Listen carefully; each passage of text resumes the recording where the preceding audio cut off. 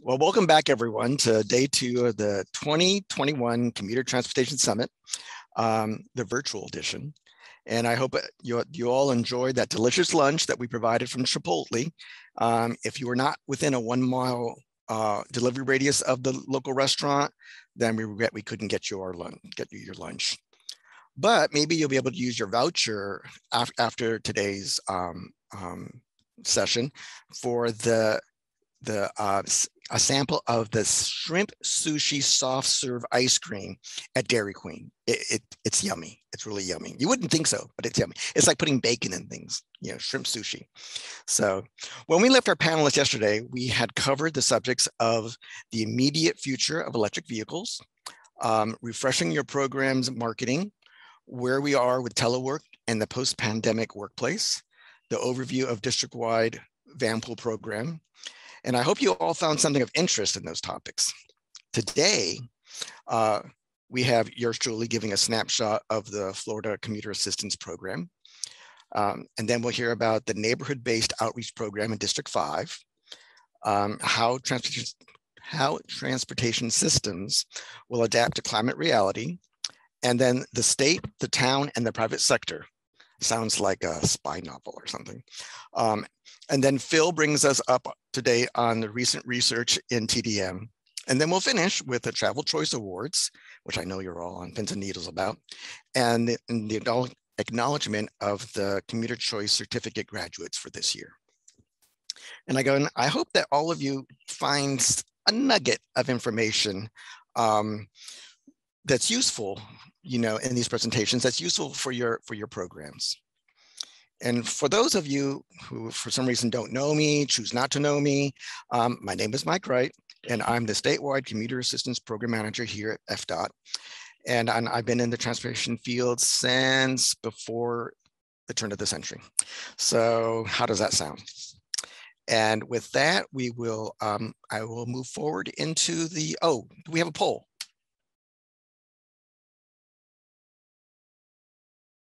Do we have poll results? Okay.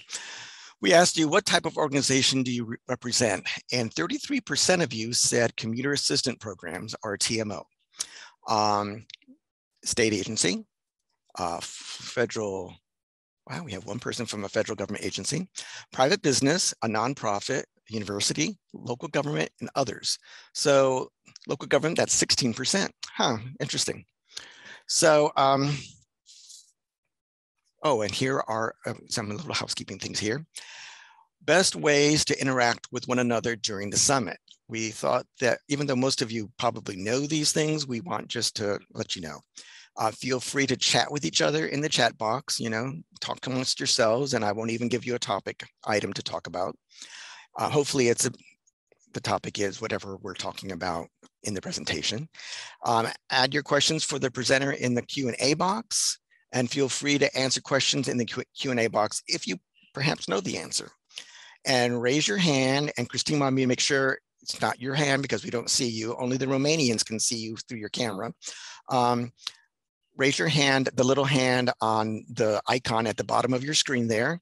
And if you want to unmute and to speak for some reason, if you think, if you have something really, you know, earth shattering and life changing that you want to share with all of us.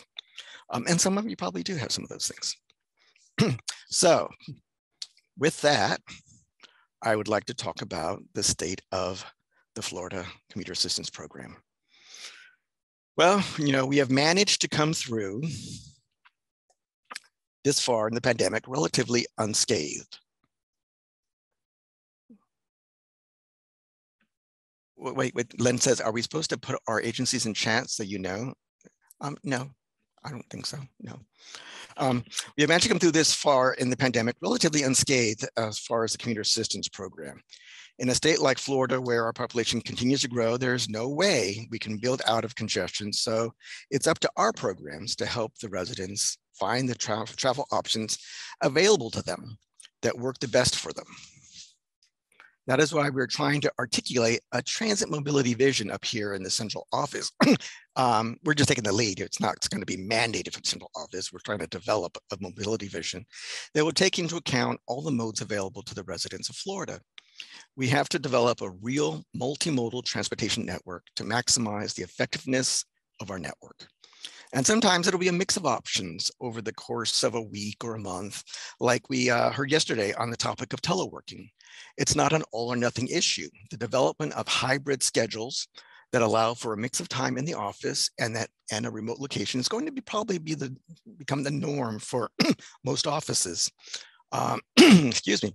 And with that, perhaps the commute on those in office days could be by transit or carpool or, or bike. I mean, the, the we're, kind of on the precipice of the unknown in a way of what the future um, uh, work population will be doing as far as their location.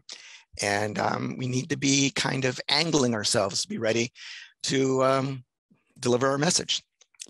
Because we're not trying to convert anyone or cast any villains in, in the commuter assistance um, world. We are trying um, simply to help our residents efficiently and effectively use the resources that are they have at their disposal. You know, we're trying to be educational and informational, not not dogmatic and not judgmental. And um, in the process, we might help develop some new resources um, that increase their mobility options. You know, because you know what's available in in um, Tallahassee and and um, Pensacola, or are in in Fort Myers, um, you know, may not be what works in Miami and vice versa. Um, so we, we always have to be kind of ready to, to um, uh, find the tools and the mechanisms that work best in our community. our funding remains at the same levels, thank goodness. And so there shouldn't be any problems on that front. Our commuter assistance program cover almost all of the state and our goal is to make it 100% coverage. You know, we're constantly working to, to do that. And if you check under your chairs, one of you has an envelope that impacts your funding. So it's kind of like, you know, Wheel of Fortune. It can either increase or decrease it by 10%. So if you choose to open it, so do you feel lucky? Um, so we'll see who the winner is um, or the loser. Some housekeeping. We are finally on the verge of an updated CAP procedure, Commuter Assistance Program procedure, that will help guide the districts and programs in the development of their work plans and the execution of, of, of those plans and um, giving better guidance on how to use the money, what the money can be used for, and, and things like that. It'll be going out for um, uh, departmental review um, soon. Uh, my boss, Gabe Matthews, has told me it has to be in place before I retire next summer, but hopefully it'll be in place before the, the end of the fall. Oh wait, the fall's almost here. Well, at least it'll be out for review before the end of the fall. And we are also re-examining the park and ride program. So right now, um, we've put the allocation of funds on hold, except for um, one project that that was in, in the works prior to to this uh, to this development because we're trying to find better ways to use the, the small amount of funds we get every year for park and ride. And um, we are trying to, we're, we're looking to find a way to orient the state program to smaller urban areas and rural areas where the, these funds could make a difference, could, could make a project viable that wouldn't have been viable, and can introduce the whole concept of park and ride um, in in those parts of the state. You know, the urban areas they they they're very well um, versed in park and ride and and the, and the facilities, and they have a myriad of funding sources that they can access for those for those um, projects. Whereas when you get into the smaller areas, smaller urban areas, or or even some of the bigger areas that they just have not really uh, utilized the program, that we, we, would like to be to use the funds to to uh, jumpstart some projects in in those parts of the state. So we'll be we'll be developing those those um, those guidelines and um, sending it out to the districts, asking them to work with their agencies to develop some candidate projects for funding for next year. And then finally, I like to give a plug for the um, for the uh, technical assistance and training that we provide through our good friends at CUTR. And there is the commuter choice training certificate that gives uh, a very good background in the uses of transportation demand management and how that and, and provides many tools on how to effectively manage your, your commuter, commuter assistance program. Um, it, it is available for free for those in Florida and for a nominal cost for those outside of Florida. It's, um, I would say it's useful for every every newcomer into the program, especially at the district level, um, to sign up and and work through the program. It you, you know you for some reason you can't finish the the program in one year, try again the following year and make up find the gaps that you that you have to make up, and um, work with Phil and his crew and um, and they'll, they'll, work you through it. But it, it's a very useful tool and it gives you a, a great background um, into um, what transportation management is and what we can do with it for, for our communities. And then we also have the social marketing and transportation certificate. This is not terribly new, but it's still new for us. Um, social marketing is the systemic application of marketing along with other behavioral change concepts and techniques to achieve specific behavioral actions for a social purpose. You know, and that's what we do in commuter assistance with our with our outreach and stuff. We're trying to, like I said, we're, we're, we're not we're not trying to be dogmatic, stuff, but we're trying to educate and and motivate people to um, other choices, other options, things things that that they might not have considered just because one they didn't understand how it worked or, or two, they didn't think they, they really qualified to use that mode or to, to for that option. Um, this certificate can help the transportation professionals who are looking to reduce congestion and improve access by increasing carpooling and transit ridership and are seeking to reduce pedestrian injuries and fatalities. This certificate will also provide you with a people-centered social marketing plan that relies on insight and understanding as much as, uh, as on data for creativity, design, and management of a program that, that, that strives for changes for good.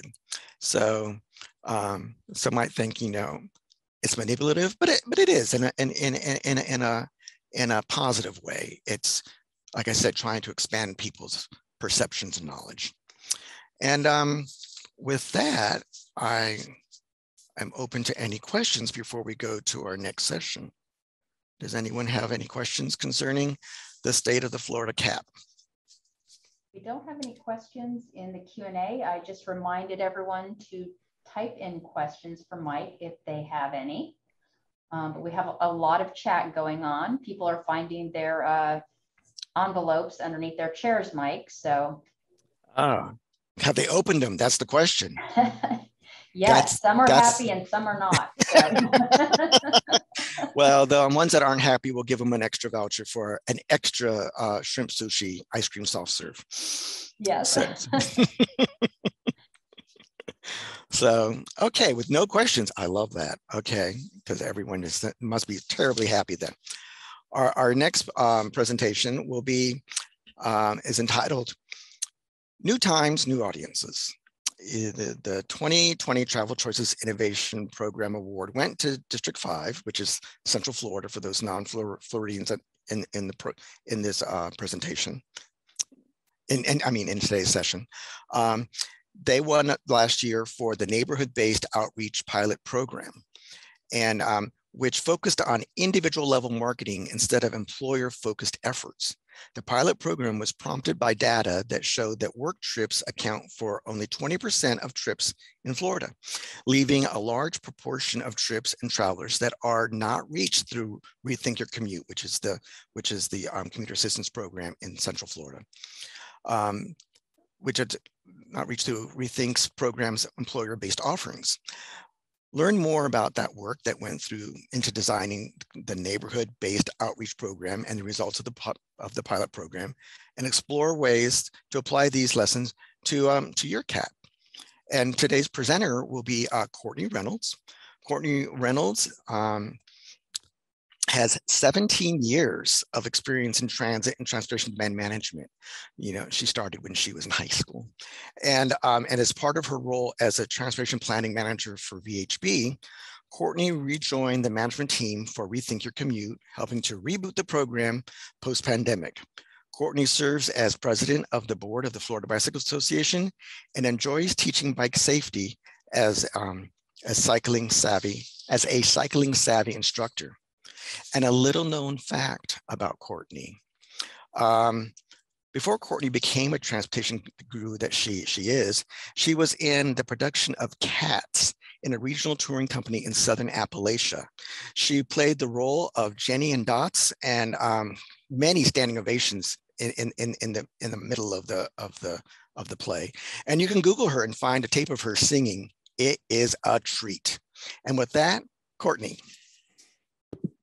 I think that might be better than the other things you may find if you Google me. But thank you, Mike. uh, and um, I, I, just want to say hi, Lynn and and Mike. If Lynn wants to introduce herself, you should. Everyone should go ahead and uh, pop in there, uh, where you're from and and your area of town.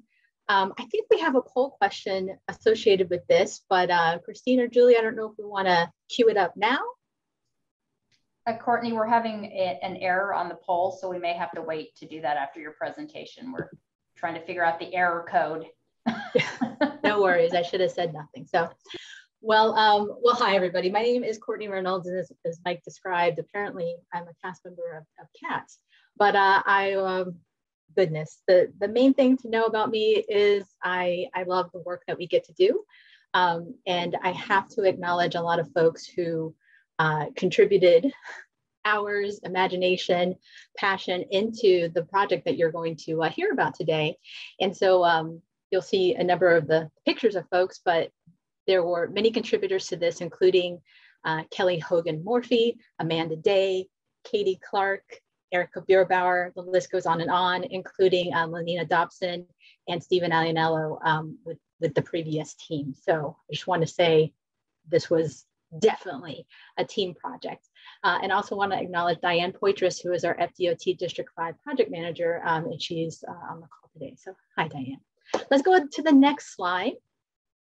So a little bit about Rethink Your Commute. Uh, we do promote smart transportation solutions for the region's workforce, which is just our way of talking, uh, of uh, framing how we talk to people and what we talk to them about. We have been in existence since 2010. So wow, Mike, uh, it, has been a long time that, uh, that I've been watching you do these summits in person or otherwise. So we really focus on bringing together businesses and employees to explore all those shared benefits that we all know are out there of van, pooling, carpooling, riding transit, biking, walking, and working from home. And ultimately, we, uh, we see our program as strengthening our area's quality of life by decreasing traffic congestion, improving air quality, conserving natural resources. And as great as those things sound, I find that most people just uh, are, are sometimes more motivated by how they can save money by taking advantage of their transportation options. Thank you. Cool. So before the pandemic, remember that time? Uh, as Mike described in, in the intro here, the Rethink Your Commute program, really by design, is focused on employers sort of our initial audience. Um, so not just all employers, but where are the employers um, either facing challenges because of bottlenecks and congestion areas or the type of industry that they're in that they may be um, a better fit, their jobs may be a better fit for ride sharing, uh, transit, biking and walking and, and different things. I think that approach makes sense, especially when you have uh, limited resources. You don't want to just kind of go willy nilly anybody uh, who, who will have you and invite you in. You want to make sure that there's a, a right mix of different factors where hopefully you can actually get success. Sorry, I'm going to try to not look at the chat. I'm glad you guys are talking. Um, what that ended up looking like for Central Florida is that we were talking to employment sites that were desk jobs essentially or shift work. Um, and it ended up being nine to five um, in our central business district. And that was great. And, and man, we were busy. But the aha moment I started to have was due to the phone calls that we received to our 866-610 ride, the toll-free number. And so that number is on van pool vehicles, it's on brochures, it's on transit agency sites. um, the people who would call us seeking information about different options or commuter benefits and whatnot we're, we're not reflective of the demographic and the job types and the industries that we were reaching out to. The calls we would get would be, you know, famously from the person who um, didn't have a car, lived on the east side of town, accepted the job literally on the other side of town. Um, they started tomorrow, and could I help them get to work? Um, and so, you know, having many conversations for folks who definitely could benefit from the different um, transportation options and whether it's ride matching or emergency ride home, but we would never reach outside of it. And, and also to a certain degree, we were not really equipped to be able to assist effectively. Um, the other side of that, that factor is, um, I, I, spelled it out there, but the asset limited income constrained employed. So ALICE, it's um, United Way term, and ultimately it's, it's the working poor.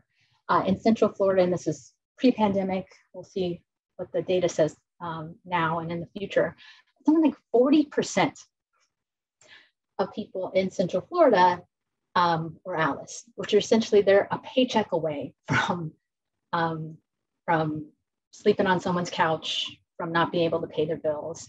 And so extremely um, sensitive to price fluctuations. Uh, that makes it challenging to, to have a number of conversations about um, choosing to not drive because that also allows them to access different jobs. It's just a, a, a lot of um, kind of intimate details of people's lives when you when you start talking to folks of all different socioeconomic backgrounds. The other side of it, here's the data point, less than 20 points of Florida, uh, of trips in Florida are work trips. Um, that was something I actually learned during one of the commuter choice uh, segments by Dr. Steve Polzin, and it just made me go, whoa. So I need to impact congestion and improve the world, um, but I'm only talking to 20% of the trips. There's this other 80% that may be influencing any of my performance metrics that I'm technically not supposed to, to look at. So go ahead and click, I think twice. There we go. So kind of all, all, these different factors of, okay, we have employer outreach, it seems to work, but man, we're not actually reaching the people who could maybe benefit from our services the most um, what could we do differently? So we, looked at a way of leveraging our team's experience, our reputation, and all the relationships we had built over many, many years in Central Florida, um, and started to put together the pieces of how. How would we actually equip ourselves to talk to folks about those other types of trips? What would be the uh, kind of supporting resources and everything we would need to put in place? And ultimately, how can we provide services to a demographic that we were not reaching and that we probably would not reach if we kept um, if we kept with the employer target focus that, that we were that we were using. So we set out to develop a pilot program using individualized social marketing techniques. Go ahead, Christine. And thankfully, uh, out there in the world of transportation demand management or TDM, there's a lot of fantastic programs across the United States and the world who are um, experimenting and trying different things. And so we first started with market research look at a number of programs, and I have to give full credit to uh, Julie Bond and Phil over at CUTR. That that really we, I think we probably got the green light to move ahead of this, head with this because Tampa, um, they had the neighborhood to go pilot that was uh, being in development with I think it was Dr. Amy Lester back in the day. So it was helpful to have a Florida um, comparison point and also okay, how are they doing it? How are they funding it? How can we learn from their approach? And as we look through all the different uh, programs and best practices, there were some clean, some uh, items that were pretty clear of what, what was common. Go ahead, Christine. So some key program elements and, and best practices overall. Barriers and benefits, pretty straightforward, right? You gotta actually understand what the actual barriers are and to be able to frame the true benefits of what you're selling. Uh, incorporating a pledge was evident in all of the, the programs that we researched. They all included timely prompts of uh, at, at time points and relevant asks specific to the individuals who are participating. And then really seeking to normalize the target behavior in that it's not um, you know, something you do on a special day, to work day. And also how can you structure it to provide peer support so it's just something that everybody's doing. Tools and tracking was uh, a big topic. We'll talk a little bit more about that, uh, kind of the world before all the apps, and then providing effective rewards and incentives. So seeing up that kind of toolbox of, okay, this is what it looks like the successful ingredients are, how do we build that for us? Okay. So as we set out to localize the approach, we really wanted to target our focus on, on on the home. So instead of reaching out to work sites, nope, I don't need to talk to a human resources person to try to get uh, permission to talk to you. How do we reach you though out of your home? And can we employ those various social marketing techniques to get people to uh, try something when it may not be convenient? And so, yes, when it's convenient and inconvenient, but ultimately um, frame a conversation to to demonstrate that sometimes you, you may actually get back more than you give up. And that last bullet on there, I think is, is pretty important. It became pretty important to me that, you know, as we were working with these communities, it wasn't that, you know, we were the plucky people coming in to save the world and change their lives. We really wanted to, to show them that they already had the tools in place to, to make these changes and that ultimately we needed to uh, make sure that once we removed ourselves from the equation that they could see that they're really working together to support each other to apply it moving forward. So go ahead.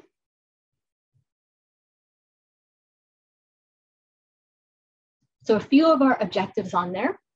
That makes sense, right? Influence travel behavior um, and looking at all types of trips, not just the work trips. Let's talk to residents at their point of origin from at home and overall, let's reduce driver alone trips. Next one. we uh, took this approach of uh, four steps to the program design. And as you can see from the little walking man at the beginning, bam, we were raring to go. And then just realizing a couple things, we kind of slowed down. And then the implementation part, it definitely felt um, like we weren't running anymore. So next slide, we'll talk through each of these steps. The first part was um, identifying where we were going to pilot this. Um, prior to us first getting this started, we had done a downtown Orlando commute challenge. It was called Go DTO. And so promoting um, various options in the place where like, you know, this is the, the best bet we have of getting people in a carpool, in a van pool, transit or biking or walking, because we have all these, all these options, all these redundant options in this area. What can we do? Um, and through that experience, talking to a number of people who would live and work in downtown Orlando and yet drive their car two blocks. Um, it was it was a conversation I was having often enough where I was wondering how how can we crack this nut? How can we do better? So downtown Orlando, we focused. It's approximately the 32801 zip code. Actual zip code a little little bigger. Um, highest density, mix of land uses. I mentioned all those different uh, the mode mix. We have regional transit. So we have the local bus service, we have bus rapid transit, we have uh, our commuter rail, bike share scooters, all sorts of fun things. And by and large, um, the best bet at kind of a cultural norm of people biking and walking. Go ahead. So we think, okay, downtown, people are going to do this, right? This is going to be easiest pilot project ever. And I said, no, let's make it harder. Let's go to a place where we may have the highest transit ridership, um, but where every other factor is going to be uh, up against us. So we went to Pine Hills, which is west side of Orange County in a broader Orlando area. It's a suburban density with high-speed arterial roads. Sadly, um, it's a zip code where uh, kind of on, on the chart of where crashes are happening in that zip code is significantly more than any other zip code in the area.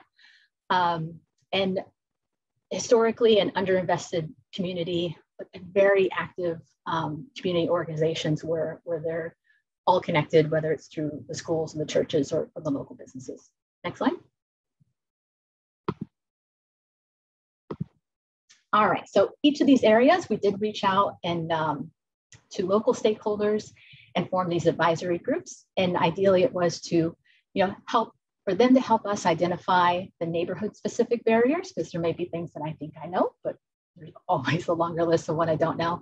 And then also look to them to provide recommendations on the program design. Next slide. So the input that we heard from each of our um, advisory groups, this one's specific to downtown Orlando. Unsurprisingly, the barriers that we heard of why people don't ride the bus or bike or walk or carpool. Um, yes, there's a perception that transit is unsafe, dirty, and smells bad. That's a direct quote. Um, and as much as I may be like, hey, I can go out and walk from point A to point B or ride my bike from point A to point B in downtown Orlando and feel perfectly safe, by and large, most people's perception of um, the various gaps in bicycle and pedestrian infrastructure, they are not inclined to feel like they can do that successfully. And then just like this general mental barrier that it's hard, I don't know how to do it. Why isn't there an app for this? Um, just this, just like um, assumption that it is impossible because they don't know how to do it now. Some of the recommendations, uh, unsurprisingly, provide education on a variety of options. Um, the cool thing was a recommendation to pr produce a simplified transit map because a lot of what um, we heard from folks is, especially if you have a downtown area where all your bus lines converge, wow, to figure out which bus I get on to get where, if you're new to the system, can be very overwhelming. And this idea of using coaches or travel ambassadors to show people that it's easy and maybe even a little fun. Next slide the interesting thing we heard from the Pine Hills group, um, and it's not a surprise necessarily, but kind of how it unpacked, the barrier being that, you know, a car is a status symbol. And it's like, okay, yeah, yeah. But in this conversation, it came, it kind of came to, well, if you're riding the bus now, you're going to work, you're doing what you need to do, and you're saving up, what's, what are you saving up for? And everybody said, well, a car. So essentially, transit riders, uh, transit agencies, they may have these riders, but instead of like growing loyalty or keeping them on board as customers, they're just cycling out, right? You're riding the bus to, to improve your economic situation. That, that part of it is to not ride the bus anymore. So it was just an aha moment for me of like, well, how do we keep the people who are on the bus now to continue to be on the bus? definitely, um, you know, valid lack of bicycle infrastructure, depending on wherever you prefer to ride. It's, it's uh, definitely tricky out there just because of the higher speed roads. And this possible technology limitations of, you know, do people have um, smartphones or more so do they have data plans with that smartphone if we were gonna rely on that for trip tracking. Uh, the highlight from the recommendations was creating multilingual materials and really writing it for the layperson, like normal people, not for uh, transportation planners or, or even like marketing gurus. Just like make it accessible as, as the tone and uh, where it's coming from, and really seek to um, you know identify existing trusted ambassadors from the community, and whether that's through engaging churches or faith-based community organizations tapping into their existing social infrastructure. I'm so conscious of the time, so I'm talking fast. Let's keep going so many stakeholders. Um, ultimately, we divided each of the two advisory groups, so Pine Hills and Downtown Orlando, into three core functions to help us develop branding and marketing, identify the ambassadors, and assist with participant recruitment and message testing. And then the project team was responsible for um, evaluating, so tracking the progress and then testing different types of incentives. So next slide. This was pretty cool. One of the things that we did with the uh, branding and marketing uh, subcommittees for each of them was to hear from them uh, what they felt described or reflected the values of their community.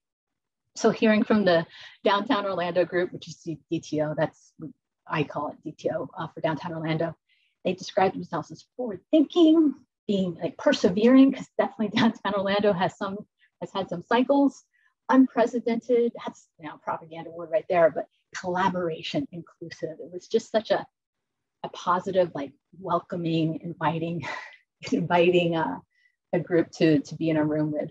And, you know, asking them like, if this was gonna be a movie, what movie would it be? I don't quite understand the Rocky 2 reference because I've never seen that movie, but it, it did get everybody uh, talking and thinking about different things. The DNA of the Pine Hills uh, advisory group, next slide, there we go, um, it reflected fortitude, endurance. You know, how can we empower? How do we build legacy, embrace diversity, and and reflect just courage and the bravery that they saw. Next slide. So a major barrier um, at the time, because when we first got this role rolling, it was like 2016, and there was some stops and starts due to funding. Um, apps came and went. So we were looking at what apps are existing out there so we don't have to recreate the wheel. Um, essentially, we thought the ideal would be some sort of passive tracker where you download it and then it would um, indicate if they were walking or biking. And there'd be a validation point for like carpooling, things like that. Um, I'm forgetting the name of the one that was fantastic. Not horrible. Um, but Google bought it like in the middle of this. we're like, we can't do that. Um, and then before we were launching, uh, District 5 did go ahead and launch Agile Mile for the overall Rethink Your Commute program. So that did um, serve a little bit of the needs on the technology side. that bus is going fast, yeah. I think you're driving it, Mike. So the recommendations uh, out of the Pine Hills Advisory Group actually pushed us in a direction that we were not anticipating. They really thought that it would be the most effective to work with um, Evans High School. This is just, you know, one of those um, convening points for the community where it's undeniable that great things are happening there. And that's where great things come out of. Um, it really reflected their core values that they told us about endurance, empowering, and legacy building. So we did some additional research on other student-based programs. There's one in Minneapolis um, that we looked at specifically. Unsurprisingly, the prospect of both paying and recruiting, overseeing, um, supervising essentially children um, and asking them to knock on people's doors, essentially of adults, it just took us into this whole other realm of liability and what ifs um, that became a major barrier. So we'll keep going. Uh, recommendations for downtown Orlando. I think one of the, the great things is that the advisory group, they saw themselves as potential participants. So it wasn't that they were necessarily designing this for others, but they're like, yeah, I want to do this too. Um, and they really defined, defined our program audience in downtown Orlando, the people who work, who live in there and work.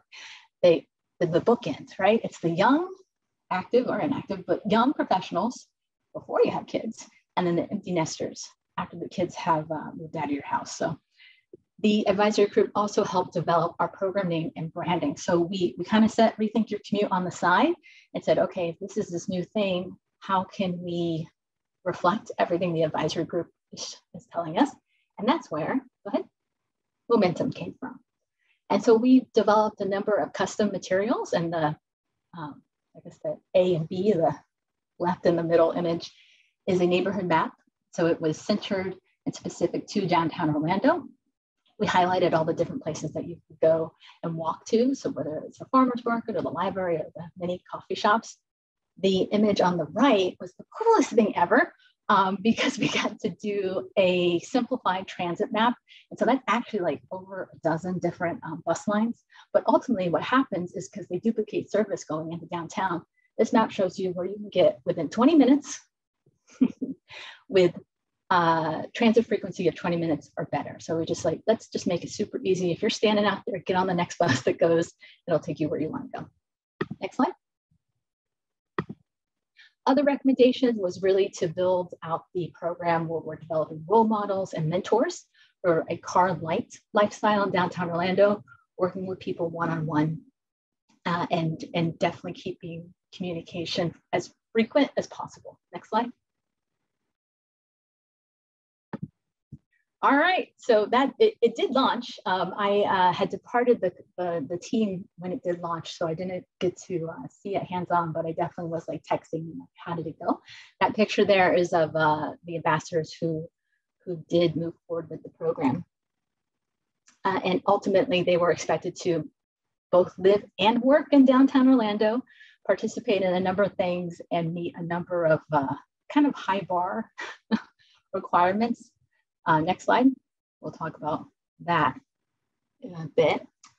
And uh, the rolling enrollment, so over five weeks, overall the participant uh, program length would be a 10 week timeline.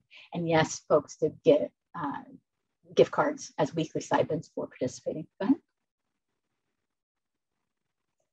And so in recruiting the actual participants, there was a number of steps that were taken. Ultimately, it was a lot harder than, than we anticipated. Uh, 12 people officially applied, but only five um, were accepted into the program as participants. Go ahead. And so once they were on board, there were a number of steps from taking a survey, meeting your ambassador, and tracking trips. And the cool thing was that they had to send in a weekly progress report. And that was like the, go ahead, next slide. To me, it's like, ah, oh, this is why we do it.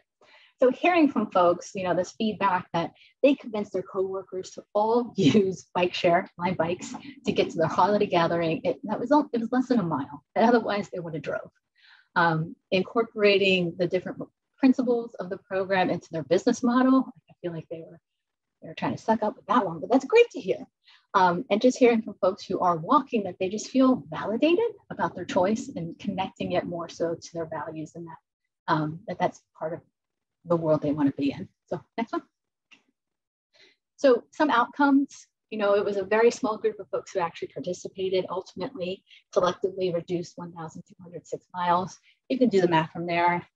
It, it wasn't big enough to show big enough return, but it did show that people were trying something new. So all the participants did try a new travel mode or increase their overall use of different options um, for both discretionary and, and commute trips.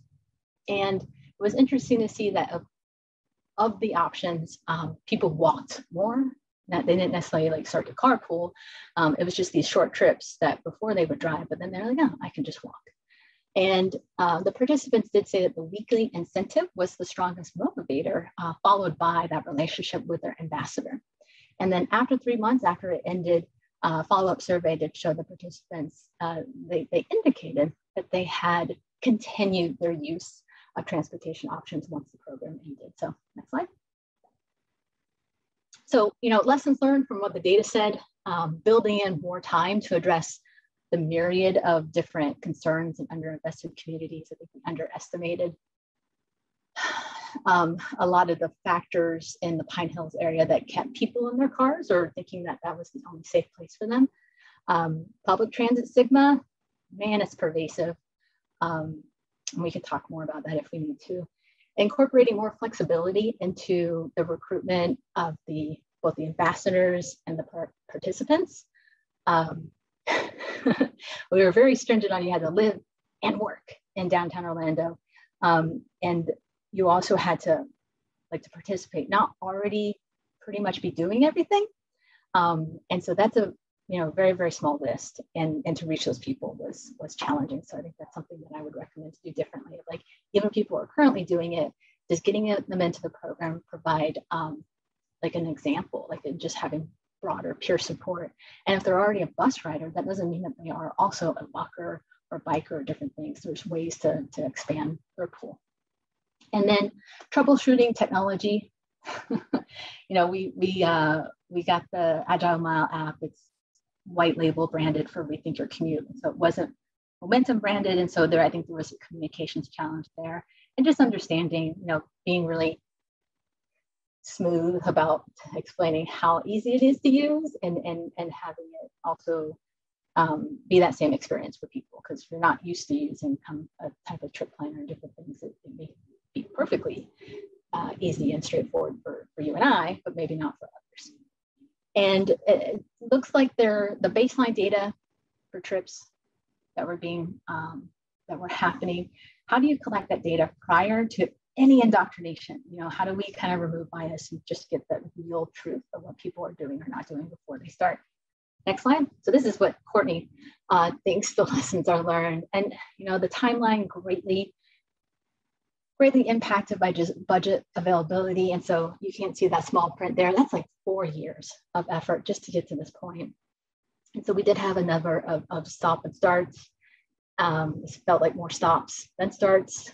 The other side of it is because of just the nature of you know our, our employment situation for the program we really lack that ability to be nimble um, and act quickly. So you know okay you want to talk to high school kids now the lawyers um, that conversation comes and a number of, uh, of other factors about just how we were structured um, you know i hired we hired folks to work pretty much eight to five, Monday through Friday, but a lot of this outreach was on the weekend and on the nighttime. Um, and so that's where you, it, it, there's, there's lots of challenges there, kind of changing people's jobs on them isn't, isn't a recipe for success. Um, and ultimately, you know, unfortunately, the participation numbers and the results just weren't significant enough to, to build upon. Um, I don't think hope is lost because I do think there could be cool ways to learn from this and do better next time. Um, and just overall, you know, instead of a four-year time period, shorten that overall uh, so that you can get to the results and also iterate quickly and change it and, and make it better each time. So, all right, I think I made it through. I apologize to everybody whose time I took. Well, hopefully, like I said yesterday, we won't have any Jimmy Kimmel show moments where where the last person doesn't get to come on, like poor Matt Damon every time. Um, yeah. Um, do we have any? We have a question for for uh, Courtney. Um, says since 2010, what are some of the most recent commuter transit trends you have noticed as well as what would be some of the adjustments and actions we need to make today to take full advantage of the upcoming new trends to benefit commuter transit experience and growth in 10 seconds or less. Yeah. No, no, no, whatever. no, I know. I think what's become clear to me is that our lifestyles, like just the American lifestyle, is kind of antithetical to making using all these modes possible and I can be, you know, as as charming and persuasive and offer a free XYZ. But if you, um, you know, in certain phases of your life, you're raising kids. I'm sorry, I, I'm not. It's not going to be a good fit. Or if you're in a place where parking is free, uh, you know, and there are so few disincentives to driving alone that I feel like that's the trend that's not changing, but could.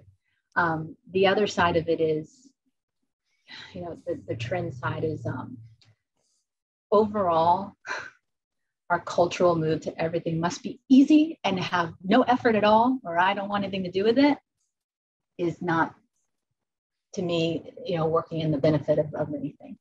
And, and I think I said it earlier. Yes, if, if you ride transit or you bike or you walk, you do all these different options, it's going to be inconvenient sometimes.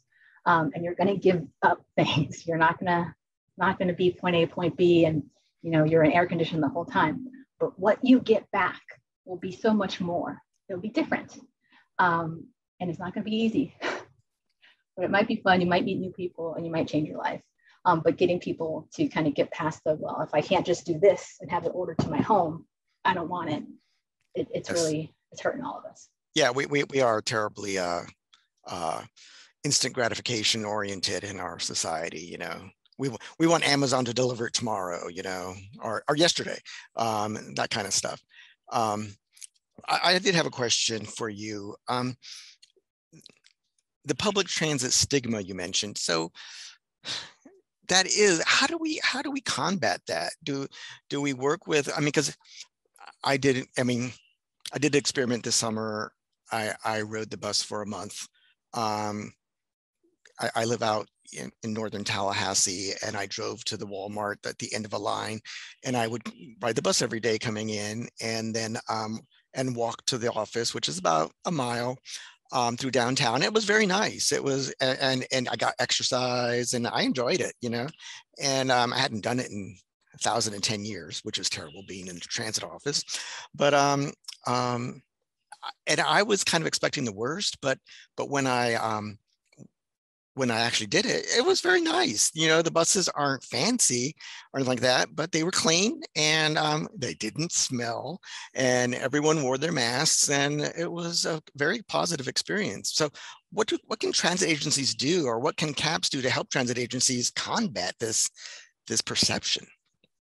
Well, I think there's two kind of different situations here. I think the things that the transit agencies can control just lean into that. And so whether it's, you know, bus stops or if it's just making your schedule easy to understand, um, shifting the mindset to, well, my customer is only at my customer because they have to. Whatever that is that makes it easy for transit agencies to not make an effort, I will not name names, um, just taking pride in it and, and looking at it as seeing value in your product. now the other side of it, and I think Pat asked this in the chat of this, the reality of it is, um, you know, I can say for Central Florida, maybe broadly in, in Florida and other places is we have a lot of folks who um, there, there's just not a social safety net. And so there are, you know, various things from just like societal systemic issues that all of a sudden cast a very large shadow onto our public transit systems from, you know, jails and prisons who give people a bus pass when they get, you know, out of out of jail. And so that's fine. They have just as deserving to get on the bus. Um, but maybe we also have folks who really need mental health care, but we don't have those um, resources in the community. If they're on the bus, they're they are impacting um, a number of things that you know the transit agency doesn't have control over. But it's that like we're all in this together, whether we've accepted it or not. Um, and how how do we realize that through partnerships we take we say yes to the role that we can play to make okay. things better. And and are you going to implement this program again somewhere in in in your uh, in D5? To be determined.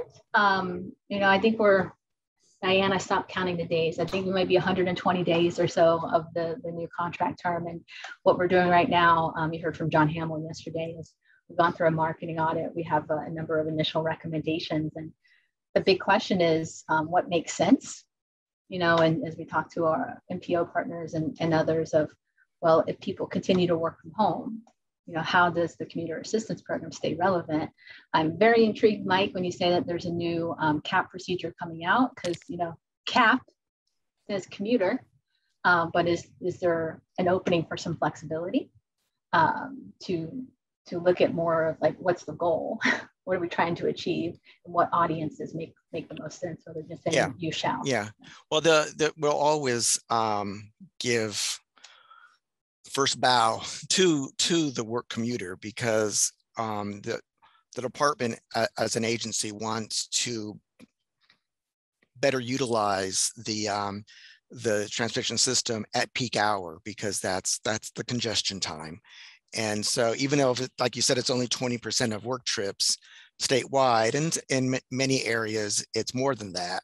Um, and, and those trips are occurring at peak to peak hour. And so if we can just get a few of them to, to, to um, switch modes um, or consider switching modes and, and, and, try it, that, that makes an impact because we aren't going to be able to expand the, um, the, um, the um, we won't be able to expand the, the transportation system to, to deal with that.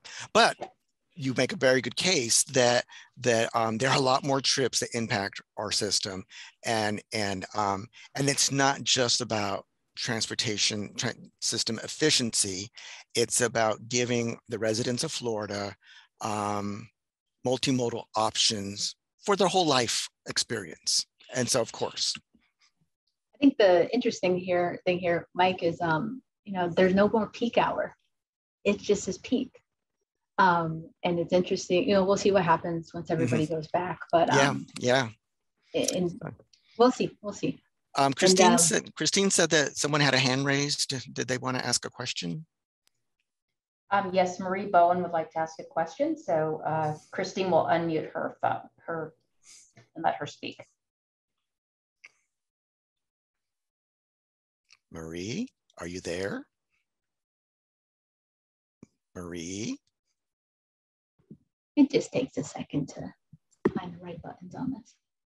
You need to unmute your uh, your your thing down in the left-hand corner of your screen, Marie, if you want to ask a question. There, okay. Hi. We can hear you. Um, um, I was asked to unmute, but I didn't need to. I was just listening to the conversation. It's Marie Bowen. Oh, we thought you had, we thought you had a question. Okay. Oh, I'm sorry. Sorry about that. okay. I, now I see why. okay.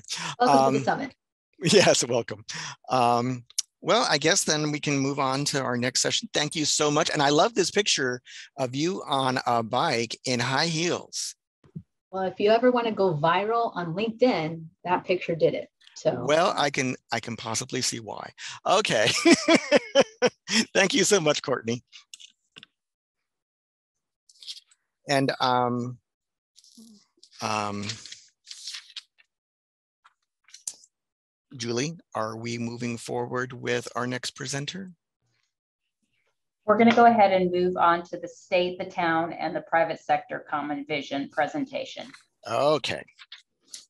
Well then, our next session, our next presentation, as Julie said, is the state, the town, and the private sector. Common vision, different perspectives. And as, as a program of the FDOT South Florida Commuter Services um, program has taken a special interest in developing a custom transportation demand management program for the town of Miami Lakes to help its employees, employers find alternative modes of transportation to get to work. The main focus of this TDM program is to educate and present the town of Miami Lakes employees and employers on possible ride sharing options, um, including carpooling and vanpooling, as well as any transit or biking options that are feasible for those who can do it. Uh, the presentation will explore the partnership between um, South Florida Commuter Services and the town of Miami Lakes from the town employees perspective, and as well as the South Florida Commuter Services perspective. Our presenters will be Michael Zayas Morales, Transportation Planning Manager for the town of Miami Lakes.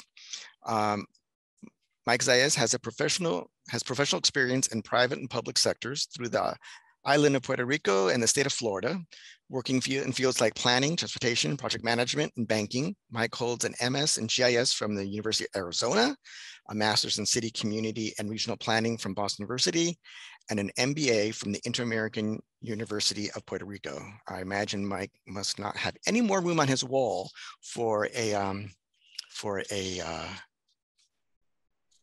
um, another degree.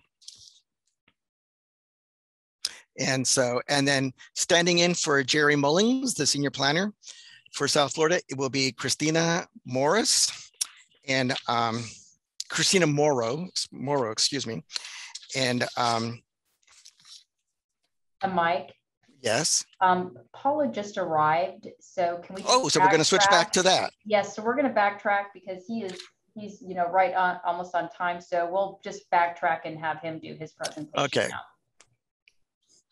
Well, changing gears. Okay, our, our next presentation will be complexity is your friend, how transportation systems will adapt to climate reality. And we, we have the tools today to uh, fully, to fundamentally shift our transportation networks from sources of inequality that fuel the climate crisis to pathways of opportunity to a more sustainable future.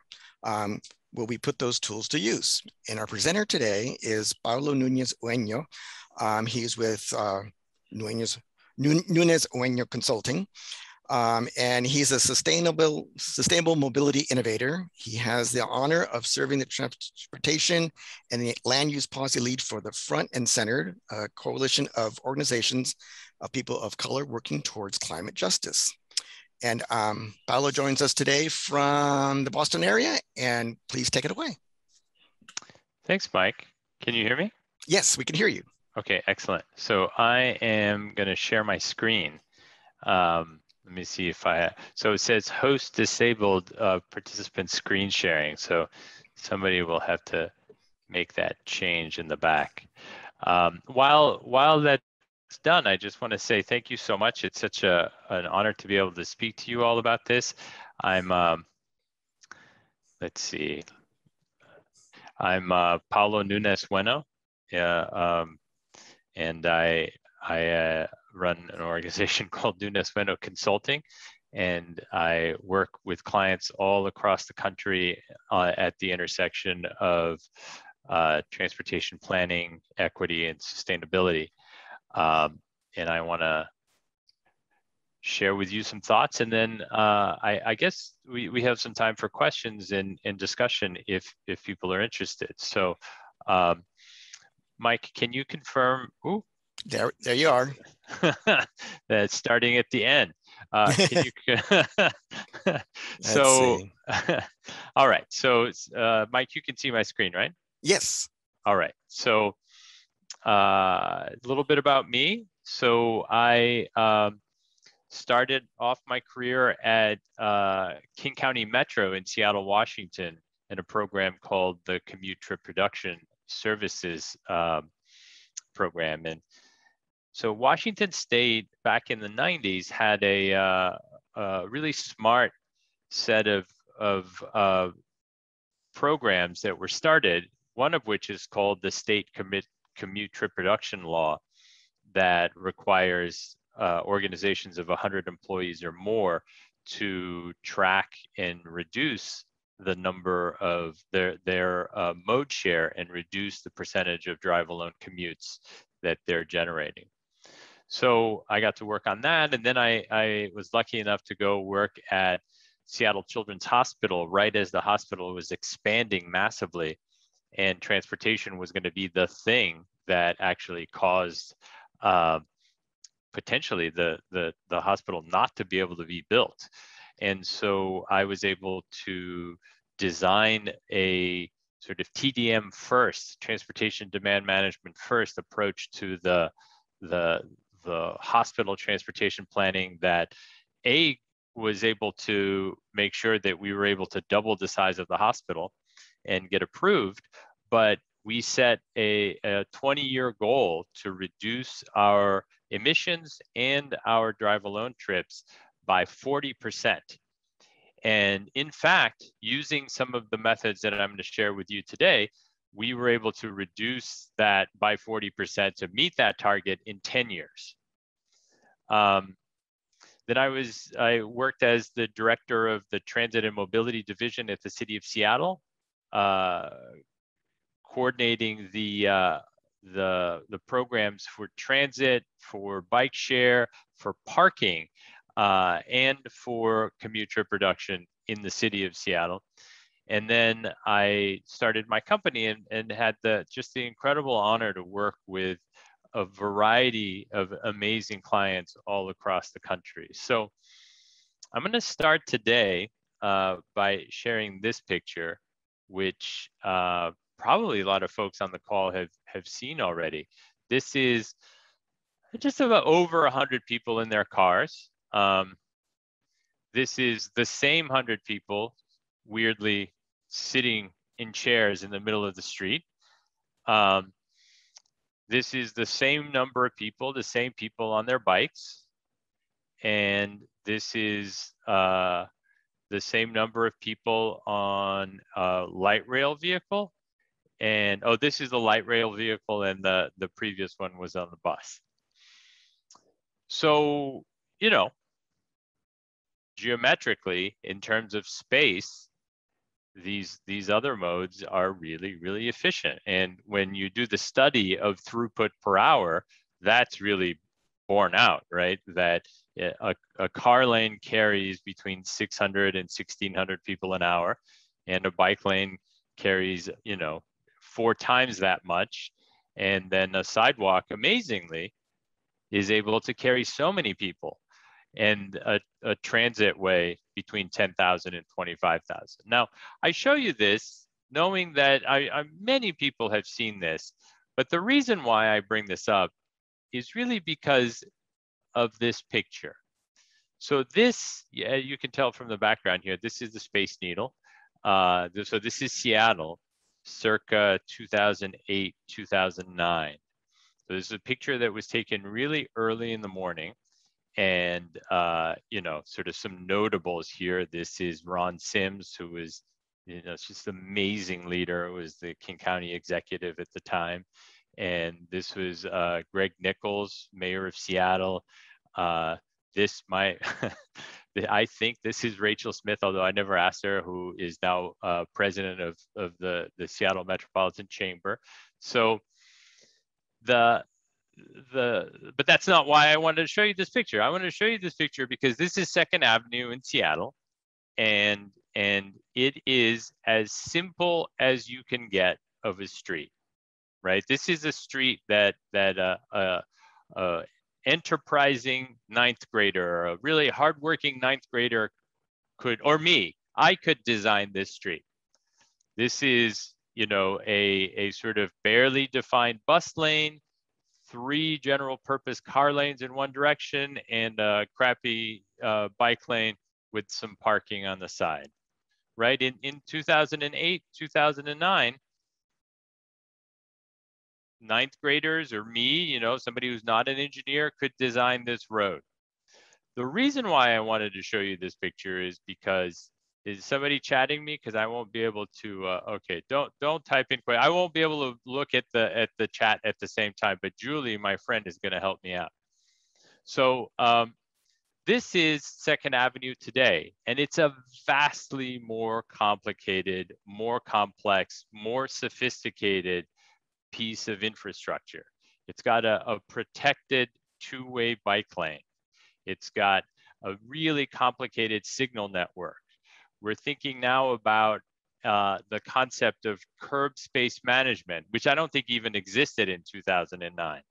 So when when we're thinking about the the functions that Second Avenue has to perform today in terms of having uh, a two-way bike lane, in terms of having a musician's loading zone for this particular music venue here. Here's another musician's loading zone we have to have uh, planters and we're thinking about this the streetscape and and how trees contribute to that.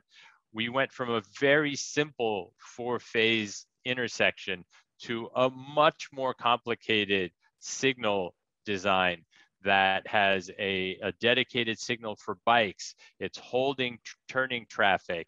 It's got all kinds of temporary restrictions on parking and allowing parking in, in other areas that, that my division, my, my former division at SDOT manages. So the, the point is, is that in those 13 or 14 years since that picture was taken, since that picture that was, you know, this dead simple of, of stripes down the middle of the road to sort of generally, you know, manage how cars are flowing doesn't work anymore. And we shouldn't settle for it, right? That when we when we manage parking in this way, for example, or when we're only looking at our infrastructure and our management in a in in the the the sort of old Second Avenue way, what we get is is an over reliance on automobiles that is a burden to commuters it's a burden to travelers it's a it's it it has the the the incredible impact that we're seeing in terms of the climate crisis and it's hard for cities to manage. So what what i like to well what i'm working on and what i what i really um, am, am looking forward to, to starting a, a conversation with you all about is what are the tools that we already have in our toolkit to make sure that we're designing a transportation system that puts people, not modes, at the center of our of our planning, at the center of our thinking. That when we what what my experience and the, the experience that I that I've had in my career that I'm trying to synthesize now is that there are these elements of culture, of cost, of convenience, of concrete that we forget to manage. And what you get is, is auto dependence and all of these side and, and, and uh, unfortunate impacts of that. So I'm going to give you two different examples of what that might look like of putting people at the center of our decision making, particularly when we're thinking about uh, how we're adapting to the climate crisis and how we're adapting to that in a way that that brings in people that have been left out of our planning, have been left out of our consideration when we're doing maintenance, have been shut out of our car-centric investments that we've been made so that we've made so far. So why why should we do this now? What what what hope do we have that we are actually going to do this? Well, so uh, potentially, our old friend Winston Churchill has a thought where he when he said that you know Americans will always do the right thing, once they've exhausted all the other options. So who knows if Winston Churchill actually said this or not? It doesn't even matter. But the point is, is that we're really at an either or moment, right? This is a screenshot of uh, something that happened in June of this year. So uh, my family just moved from Seattle to Philadelphia, uh, and we started our drive across country on June 29th, I think. And this was what was happening in June 28th. There were areas of Portland that were 118 degrees. Our the infrastructure in Seattle is just not built for this. As, as you probably know, we have bascule bridges. We have bridges that, that, that open like this. And when it's too many consecutive days of 90 degrees, the leaves of the bridge expand and they won't open anymore right? This is this is a un and and we're going to get tired of saying this. There are unprecedented historic events are happening every other day now, right? So we really so we really have a, a as I see it, the situation is is we have an either or sandwich with a both and in the middle when we're talking about transportation. So either we do something to really drastically decarbonize the way we do transportation or we're screwed. And the way that we're going to decarbonize transportation is yes, to electrify as much as we possibly can, as fast as we can, and make sure that we have lots of other options for people to not drive. Because the current system that we've built essentially makes owning, operating, insuring a car the price of admission for participating in society. And that is just fundamentally unfair. It doesn't work, right? It costs upwards of $10,000 a year to own, operate, and insure a car. And not everybody can do it financially. Not everybody can do it physically. Not everybody can do it because they're too young, right? So we have we have in in, in Washington State, and I'm sure that that the the numbers in in uh, the rest of the country are are this stark or maybe even more. 25% uh, of people in Washington don't have driver's licenses, and yet we spend three percent of the state budget on things that aren't car related. So either we're going to make this change or we're going to be made to make this change, right? I much prefer making a choice rather than be made to do something. So I want to take a moment with this picture that unfortunately is so common that that people with disabilities were left out of the equation when we built this, we're left out of the equation when we maintained it, we're left out of the equation when we planned it. Now, the thing that, that I think is really important about this is that there is no difference in the, the set of tools. There is no difference in the set of engineering. There is no difference in the planning for the, the work that it took to build this or the work that it took that it would have taken to build sidewalks here that people who happen not to be driving can use. It's exactly the same set of skills. It's exactly the same set of tools. It's exactly the same set of materials. It just is the fact that we haven't built this here because these people aren't important. They didn't figure in the, the system that we built.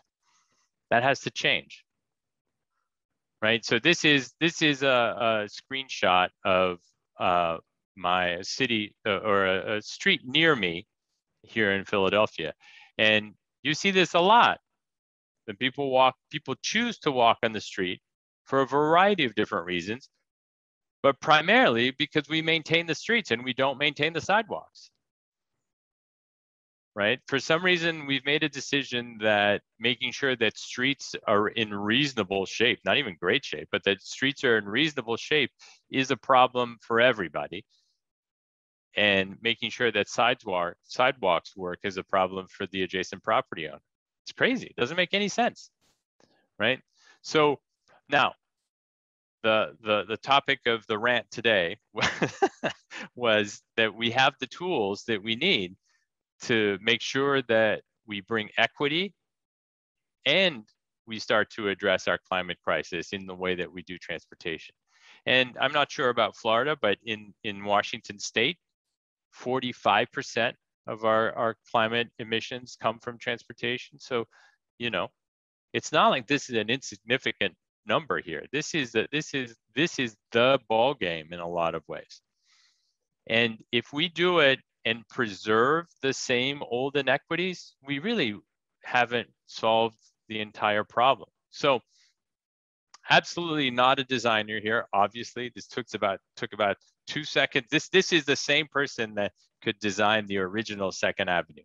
But my thinking is is we have an enormous amount of unused roadway capacity that people feel comfortable walking on residential streets on on the residential streets on the sidewalk. So let's formalize that. Let's figure out a way to solve two or three or four problems at once, right? So, you know, this is the, the old adage, if you have a really gnarly problem, make it bigger, right? One of the problems with electrification is that, you know, middle income, lower income people don't have garages, don't have driveways, don't, won't have a place to charge their electric cars. And the more that we mandate that, the bigger that problem is gonna be. So what if we move the car parking into the street, reduce the number of feet that we're devoting to general purpose car lanes, figure out a public charging system, and at the same time, devote some of that space for people to walk. So when you think about these, these factors that, that make up this, this transition that, that, I've, that, that I've been working on, this idea of, of culture, each one of these belongs in in a nesting pattern with each other and they all need to work together so culture is this idea that you know we unfortunately as as a species we we value status so much. And we've created a system where the people without status don't get any resources don't get as many resources. So the the folks that are operating their wheelchairs in in a place that's entirely hostile to that right? That's that's as much a a product of a culture that says that those people aren't important as any kind of engineering decision, right? So we need to think about the culture. We need to address cost, and I'll talk about cost next. We need to think about convenience, and convenience, I think, is a marker of user experience. The, the story that, that I think uh, everybody can relate to is that, well, we, we you know, act like maniacs to park as close as possible to the door of the mall so that we can do what? Walk all day inside of the mall. And why is that? That's because the outside of the mall was designed in no way to accommodate or to make a delightful experience for the person walking. But the stuff inside the mall was designed entirely to, to, to accommodate, to celebrate, to delight the person who is walking.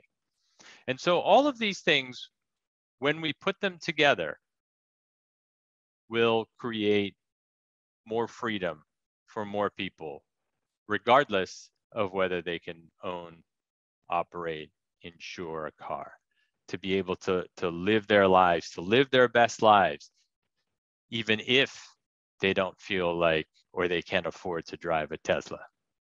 So this is just another example. I don't know why this stuff is up here. I guess maybe you can see it, maybe I can't.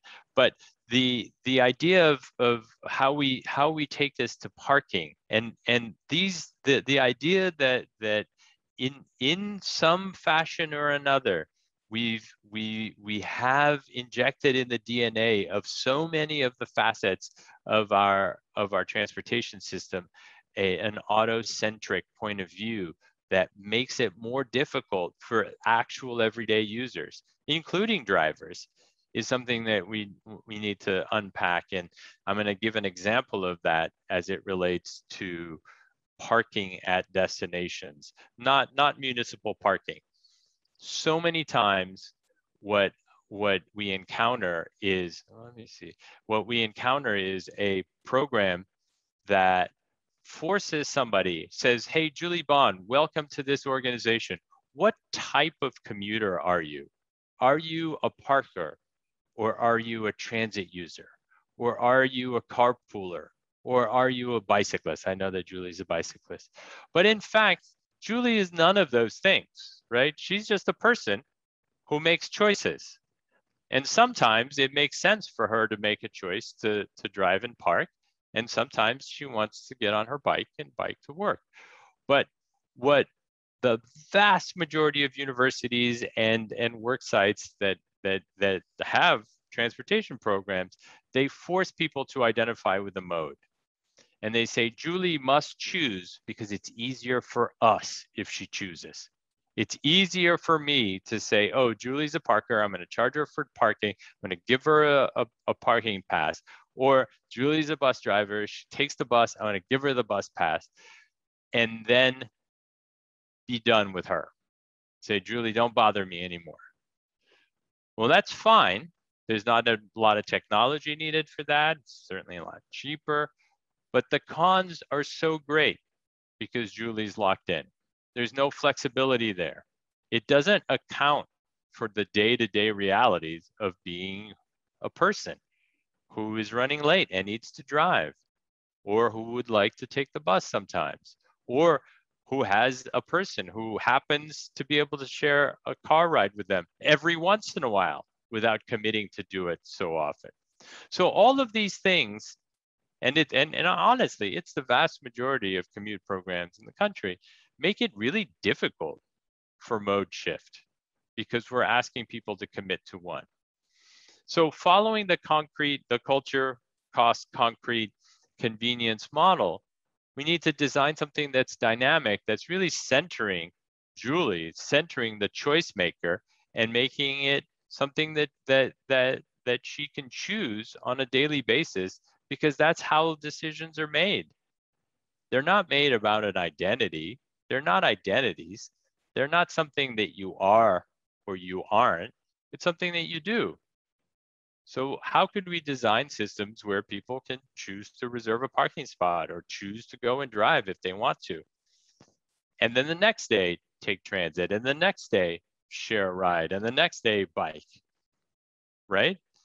Because those marginal changes in the aggregate will make a big deal. Right? So, uh, and, and that was the basis of the system that I designed at Seattle Children's, where we said, hey, you want to drive to work? Great, we have a spot for you. It's going to cost you whatever, you know. I mean, I can, I can, if folks have questions and they're interested, you know, we we really took equity into account when we designed this because we we understood by looking at the data that our lowest our lowest paid staff had a, a huge overlap, almost entire overlap with the staff that had to come in very early. And so we made the, the parking where costs for people that are coming in before 7 a.m., where there's fewer transit choices available, pretty affordable. And then it went up from there. And at the same time, when people carpooled or bike or took the took transit or walked to work, we gave them a reward. We say, this is $5 in Julie's paycheck when she took these other modes for that day. Right. So we're balancing the, the cost part of this equation. And at the same time, make it very, very easy to people to see the aggregate impact to them and to others of these choices. You know, you go through these choices, you pay for whatever parking you use, you get an incentive, or something is, you know, you get an incentive when you do something else, or you get a subsidy, and all of that is is combined and personalized as the commute statement back to you. So this is just sort of one example of this approach, but we should be able to apply this to all of the facets of the transportation system that we're using so that that we're designing that we're implementing that we're operating so that ultimately what we get is more freedom for people that are making a choice to drive or not drive every day, more safety, and at the same time, more dignity for everyone and fewer emissions. So that's the end of my spiel. uh, thank you so much for having me. I'm going to stop sharing, and I'm I'm uh, I'm not quite sure what else is on the program, but I'm I'm happy to uh, take some questions or just be here for a discussion if folks want to have a discussion. Fight. I'll adjudicate some fights. uh, um, we have a question from um, Karen Kress in Tampa. And she says, what price strategies have you seen effectively manage VMT? And how do you get politicians to take that leap? Um, well, yeah, so that's that's a, a really important point uh, that that the the the the political framework needs to start from this point of agreement that we we need to manage the system in a way that's more equitable and also that is more sustainable. So that's that's step one. And I think that the the the pricing strategies are there there are many, the really important sort of rules of thumb that you want to keep in mind is that you want to make sure that you that your pricing strategies are maximizing flexibility, that you're not asking people to to pay uh, ahead but you're asking people to pay as they use. And number two, that uh, you you balance the cost of the alternatives with the cost of driving, so that you, as much as possible you're making the the alternatives cheaper. Um, I had a question about the, the, the whole dynamic system. W what happens on that occasional day when too many people decide they need to drive their car um, and overload your parking. Um, well, right. So that so that's that's uh, Mike. That's that's a really important point, and so that goes to my point about sophistication, right? So that when you know clients of mine, for example, at uh, uh, Oregon State University in Portland, they they are, you know, they have a big staff they they run a very dynamic parking operation. They are selling, uh, res, you know, they, they have a certain subset of the population that they offer uh, a very expensive permit, still a daily permit, but that means Mike can drive any day that he wants.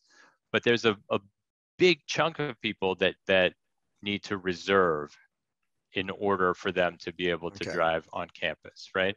So that's not the only way to solve this problem that, that you're talking about but what it what it shows is is that the easy way to solve the problem that may happen once or twice a year is to overbuild parking and then what happens when you overbuild the parking? The easy way to do that right? And by easy i mean stupid mm-hmm. because it's incredibly expensive and it's going to generate that dynamic that I'm sure all the folks on the call are, are familiar with of induced demand right? On both sides of the equation in terms of saying oh shoot now i have to monetize all this extra parking that i built for the potential christmas peak. Mm-hmm. and so now i need to devalue the the the cost of that and that for therefore that generates more people driving so the it's it's an absolutely critical question, but the the answer cannot be we overbuild for the one day peak. The answer needs to be we get really sophisticated with how we manage demand every day. Okay, that sounds good.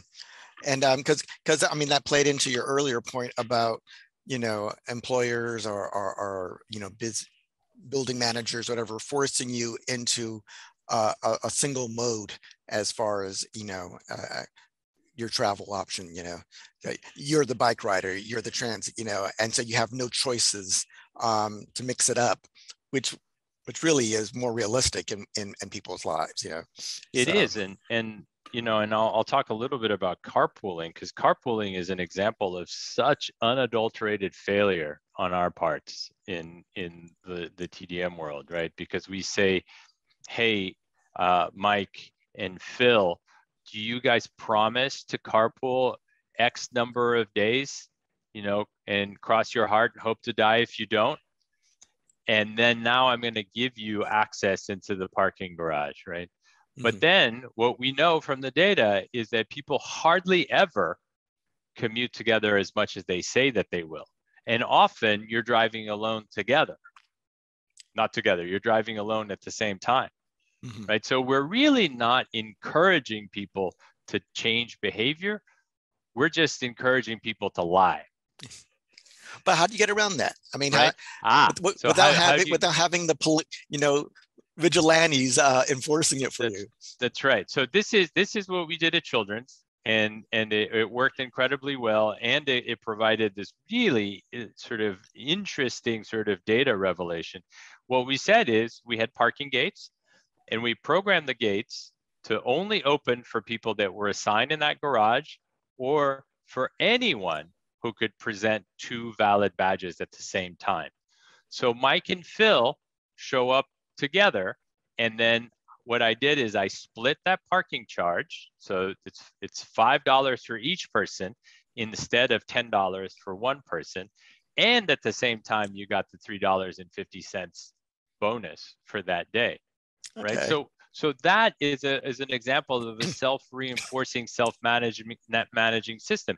And what we learned is that on average, Phil had six different carpool partners in one year, as opposed to making him this pretend marriage with Mike that you guys are going to be this yeah. inseparable bond of carpooling. Yeah, right? he has he has commitment issues. So, right, yeah. exactly, right. so yes, so uh, yeah, carpooling is a much more polygamous activity than uh, than than we give it uh, uh. than than we assume that it is. But that's just another example of well, you know we we make these systems that are for the benefit and for the the convenience of the operator and they really don't perform like we think that they're going to do right that that and carpooling is is a um, is a prime example of that and uh, I liked earlier your your your um, showing the the photos of the different modes and the impact on the physical system. I mean, that's a famous thing from I think the, the, the, initial one was from the Netherlands or something. I think then they did that.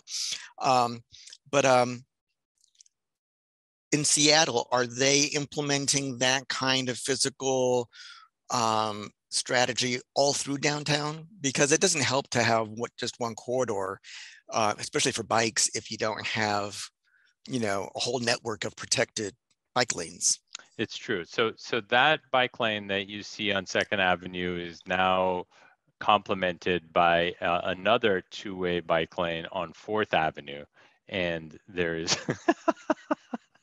That's funny. Carpooling is pulling. yeah.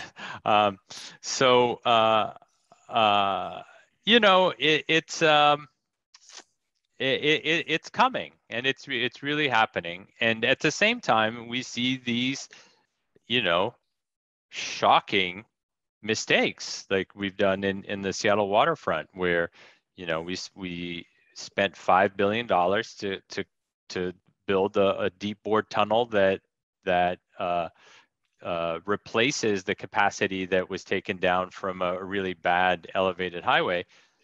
But instead of being happy with replacing the capacity, now we're building a, a, surface highway with five lanes of each on each direction on the waterfront. You know, and it's and and part of that is just this incredible policy failure policy of imagination where the adjacent property owners weren't given enough of of uh, of a choice to say you know do you do you want a five lane highway in front of your establishment or do you want something that's going to make it easier for people that are walking and shopping and enjoying the waterfront?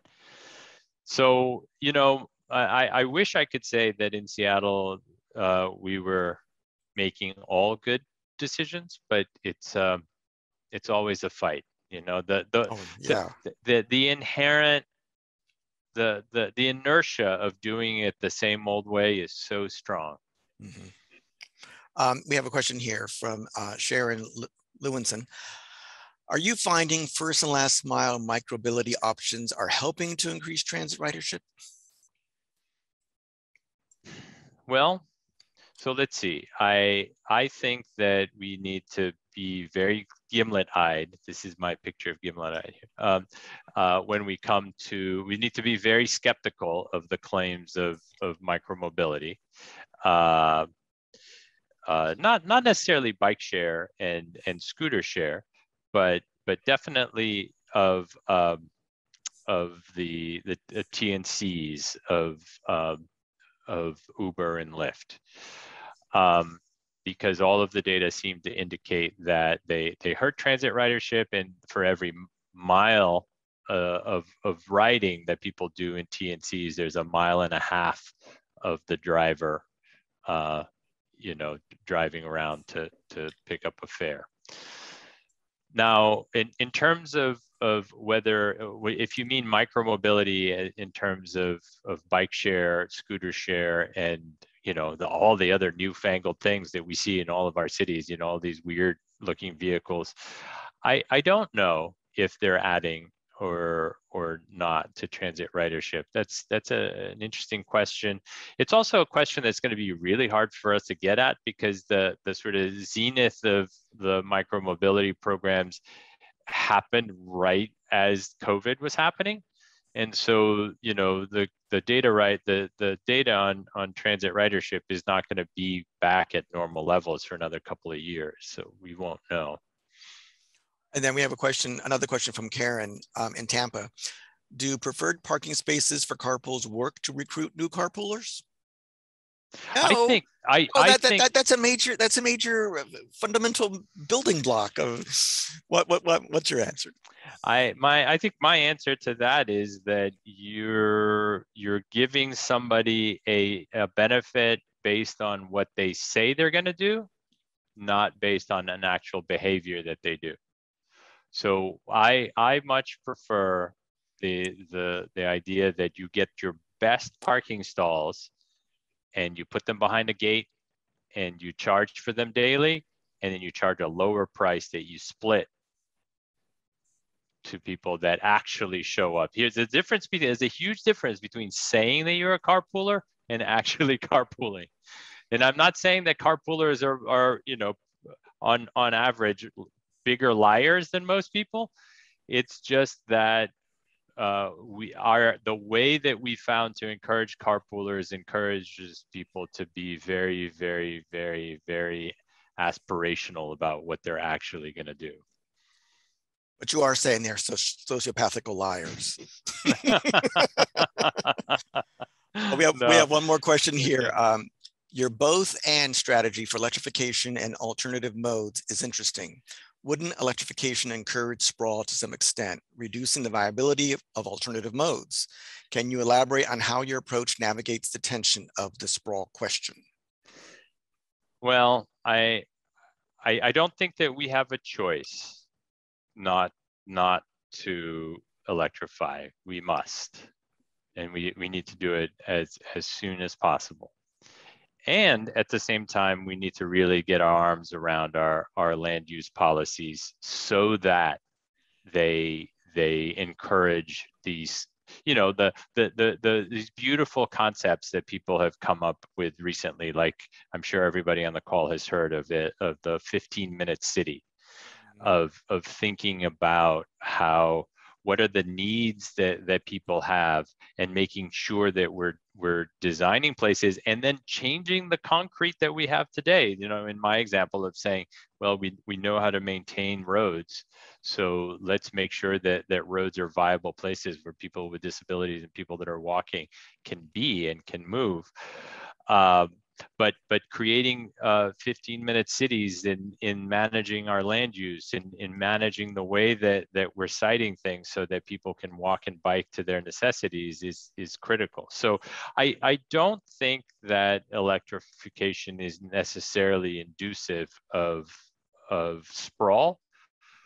I think that the status quo is inducive of sprawl, and we need to change that drastically because we're you know we're subsidizing longer and longer commutes by by providing free highway capacity. Yeah hopefully the day will come rather than having three gas cars in your garage you'll just have one electric car in your garage and then you'll you'll have all these other options for a myriad of, of trips that you'll be doing that day. Okay exactly. I, I i lied there is another question.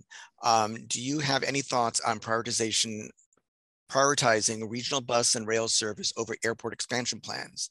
These oh. are the kinds of longer distance transportation modes that we can more easily electrify but by comparison, they don't receive as much attention or funding as airports? Oh yeah, that's such an interesting question. So I I think that you know so part of the work that that I'm doing with uh, front and centered in Washington State, they're one of my clients now, is we're really trying to create uh, a very clear link through data uh, between our transportation investments and yes, greenhouse emissions, but local uh, pollutants, the, the what, what the EPA calls the criteria pollutants, and impact on health in the local uh, in in the local area, in the in the very local area. So this this organization, Front and Centered, has created an environmental health disparities map that will show you, uh, hey, you know, diesel emissions or small particulate emissions in this area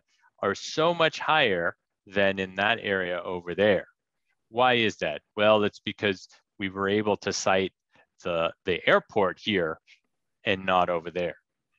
So uh, I think that the, the point is really, really important and we need to start creating these tools, particularly the data tools, the visualization to be able to say, hey, the, these, the, the, the, you know, the, the regional transportation, the, the, uh, the the uh, even the the high speed rail is going to have a, a, a, much lesser impact on health and on specific people's health you know the environmental health disparities also a map that, that we created also allows you to filter by population and say hey here's a population of you know people of color of indigenous people who have you know historically borne the brunt of the development that we've done and if we choose to do this project, they will they will have even more impacts and be able that we that should help us make different decisions. Now, you know, can we inject the the the the, the critical part of the question is is there's much more attention and money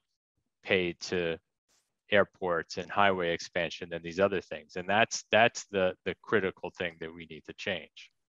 Well, finally, we have a sympathetic, you know, person in in the leadership, you know, Amtrak Joe and Electric Car Joe, who who maybe will finally help tip the balance, start tipping the balance um, on on these issues. It's true, it's true, but we also need to be really nerdy with how we implement this and think about well, how you know, because just giving the the the the the the bipartisan infrastructure deal or or the 3.5 trillion it actually scares the daylights out of me because if we just pour more money mm-hmm. into the the federal highway programs we are going to be essentially you know more highways are just like pipelines. They're mm-hmm. part of the consumption of fossil fuels. We we can even our most aggressive pathways to electrification they're not enough for us to meet our 1.5 degree reduction that that or our 1.5 degree target right? We need to we need to mode shift. And if we don't change the way these programs are funded at USDOT then pouring more money is just going to make the, the problem worse True. True. so at least at least people are talking about this. No, no, absolutely. Yeah, no, I don't. So. I don't mean to be a, a downer about all this stuff. Just, just... well, you do call people so, sociopathical liars, and but um, Julie, do we have any more questions or? I uh, know that looks like it. So uh, looks like we're done with this session, and thank you so much. That was a well, great. Thank session. you so much, Paulo. That was very interesting thank you so much for having me. And Julie knows how to get a hold of me if folks have questions, and I, I'd love to hear them. Uh, keep in touch. Thank you. Okay. Bye-bye. Bye-bye. Okay. And now we're back to the state, the town, and the private sector. You know, the mystery we're trying to, you know, unveil here. Um, I won't go back to the whole introduction because you all can remember that. But I wanted to uh, let you know that a couple little known facts about Michael and Kristina. Um, they, um, for one thing, though, we didn't get, I didn't get a bio of Kristina. So when she comes on, she'll have to give us a little background of herself. But I did come across something that that will be very interesting. For Michael, um, he is a rapper and he uh, operates under performs under the name of Zaya Papi, and is currently performing on Thursdays in clubs all over the Miami-Dade area. So um, be sure to catch him if you can. I'm sure you can look him up on on the local listings. And for Kristina, she is currently the TikTok champion um, for 2,346 postings of synchronized dancing videos. Um, they're quite, she is very talented and um, look under the, the, the, the um, her name is the KM Dancing Queen on TikTok and you'll find them. And with that, I turn it over to Michael and Kristina. Turn on your mics. Thanks, Mike. Appreciate the uh, good, good word for my TikTok. So um, you need to turn up your volume a little bit because we can't hear you. All right, I'll just try to there, talk a little perfect, better. perfect. All right, great. Yeah, thanks, Mike. I appreciate that uh, good word for my TikTok. Um, so I am very happy to be here today to um, give this presentation with Michael Zayas Morales. Um, again, who was a transportation planner for the town of Miami Lakes. Um, I also just want to start out um, apologizing if um, I'm disappointing anyone. Uh, I am standing in for our uh, program director, uh, Jeremy Mullings, today. Um, so you'll just have to deal with me.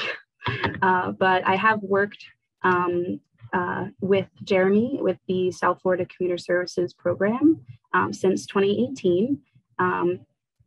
And the South Florida Commuter Services is the regional CAP um, program that spans um, uh, District 4 and District 6 uh, for FDOT. Uh, so that's Indian River from the Treasure Coast all the way down to Key West. Uh, and just a little bit about me, since uh, I guess you didn't get my bio in time, um, I have a master's degree in urban and regional planning from Florida Atlantic University. Um, and I've served as the interim executive director for the downtown Fort Lauderdale Transportation Management Association um, recently. Um, so just a little bit about me. So again, uh, we'll be presenting um, about uh, some different perspectives on TDM uh, between different stakeholders, and we'll provide uh, the example of our recent partnership, um, again, with the town of Miami Lakes and SFCS. Um, you can go to the next slide.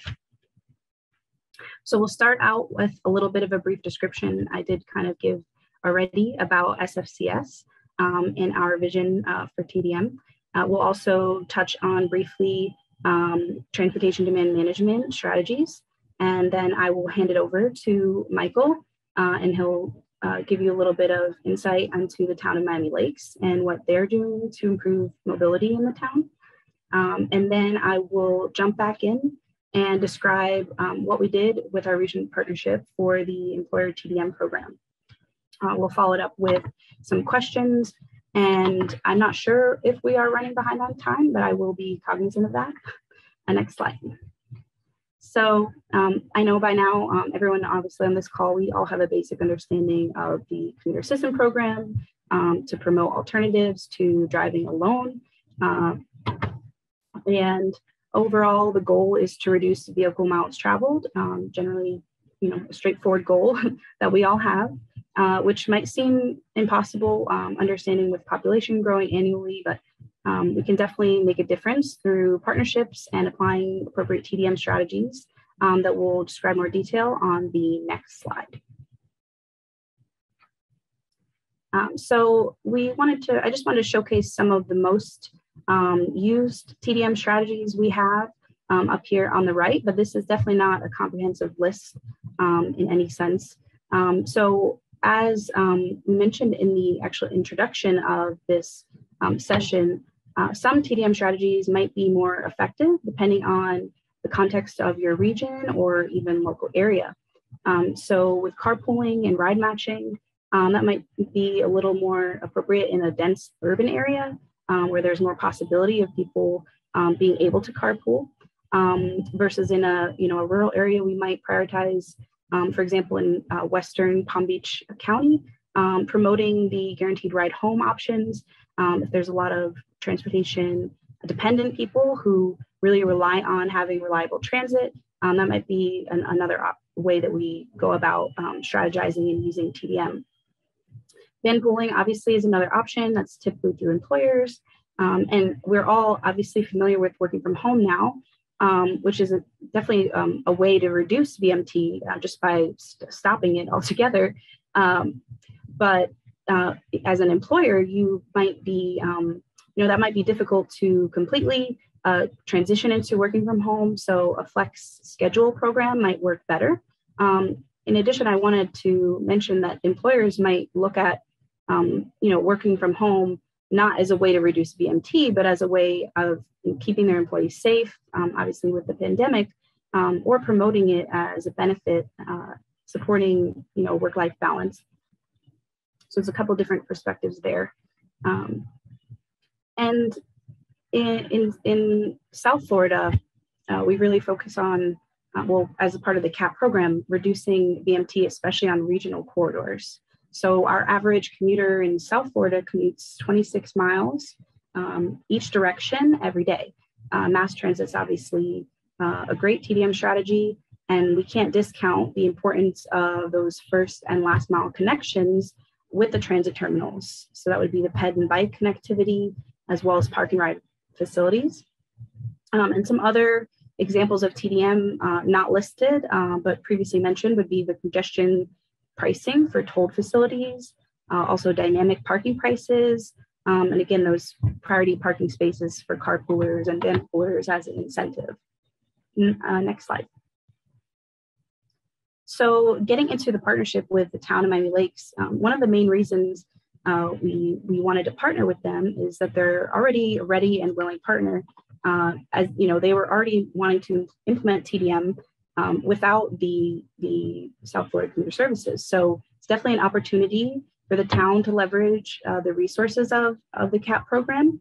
Uh, so the first thing we did when um, we made the, the initial uh, discussions and the partnership was we wanted to get a better understanding of the existing conditions in the town. Um, so, you know, we looked at things like residency and employment, where people live and where people are working within the town. Uh, we also wanted to know um, uh, and pay close attention to understanding where existing traffic congestion is. Uh, in the morning, peak would be typically when it's at its worst. Um, we know obviously with the pandemic that shifted, but we um, still want to understand the, the traffic patterns and, and the uh, existing operational efficiency. We also wanted to see what existing modes people within the town of Miami Lakes were already using to move throughout the town, uh, as well as get an inventory for um, existing transportation infrastructure assets. Uh, that would be things like the major roads, any bike lanes, um, pedestrian sidewalk gaps, uh, if there were any, as well as existing TDM that the town might already be doing. And this just helps us uh, understand um, uh, you know, our partner and perhaps understand some of their perspectives a little better. So now I'll hand it over to Michael um, for a little bit and he'll go into more detail um, about the town of Miami Lakes. Awesome. Thank you, Kristina. so as Kristina mentioned, we are really excited and grateful about this partnership, right? So the town of Miami Lakes um, adopted a commuter trip reduction program back in 2013 but it wasn't until now that we are really pushing that forward. So our partnership with South Florida Commuter Services um, started last year. And we are trying to implement strategies townwide that can encourage people to change that behavior towards using other modes of transportation, at least um, when commuting. Next slide, please. To give you like a brief overview from the town of Miami Lakes, we are one of 34 municipalities in Miami-Dade County. So we are in South Florida. Um, we are basically 20 miles far from downtown Miami and approximately 10 miles north of Miami International Airport. We are also 6.4 miles of a square um, size in the town, so we are relatively small. And our biggest land use is single residential homes, which encompasses 40%. Next slide, please. Uh, another um, points from the town of Miami Lakes when talking about the demographics, these come from the census 2010. we have around 30 30,000 people living in the town of Miami Lakes, out of which 34 um, percent, more or less, have a bachelor's degree or higher. Uh, and we have a median household income of almost 62,000. Uh, and when we evaluate those households, we have around 10,000 within the town boundaries. Next slide, please. So this is like an overview of what I use um, personally to do my assessment when I talk about transportation planning. So here in the town, I am the main point for all aspects of transportation um, that encompasses the planning, the design, recommendations to alleviate traffic, TDMs, which is a special initiative that we are also implementing in the town, among others. And one of the things that I have been able to see how beneficial is for our government that I am the one that centralize all the efforts, meaning connecting TDM strategies and implementation with policy, but also with projects that can reinforce the implementation of those strategies. Next slide, please. So whenever we are um, working on recommending different objective, I am always trying to make sure that we follow this smart uh, objective.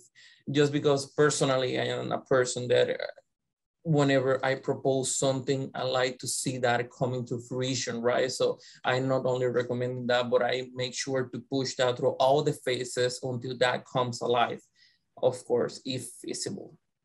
And whenever we are doing this, I make sure that we are building along the way the partnerships, which are a critical component to implement, but also for the success of the implementation of, of the TDM strategies here in the town. And the the, the, the final outcome that we are trying to aim is basically influence that behavior positively to get people out of their cars and use other modes of transportation, at least when aiming to the individual person, because we have other strategies that are aimed to influence the procedures from the employer side. Next slide, please. Basically, two of the strategies that I focus the most, at least from my end, is um, walking and biking, right?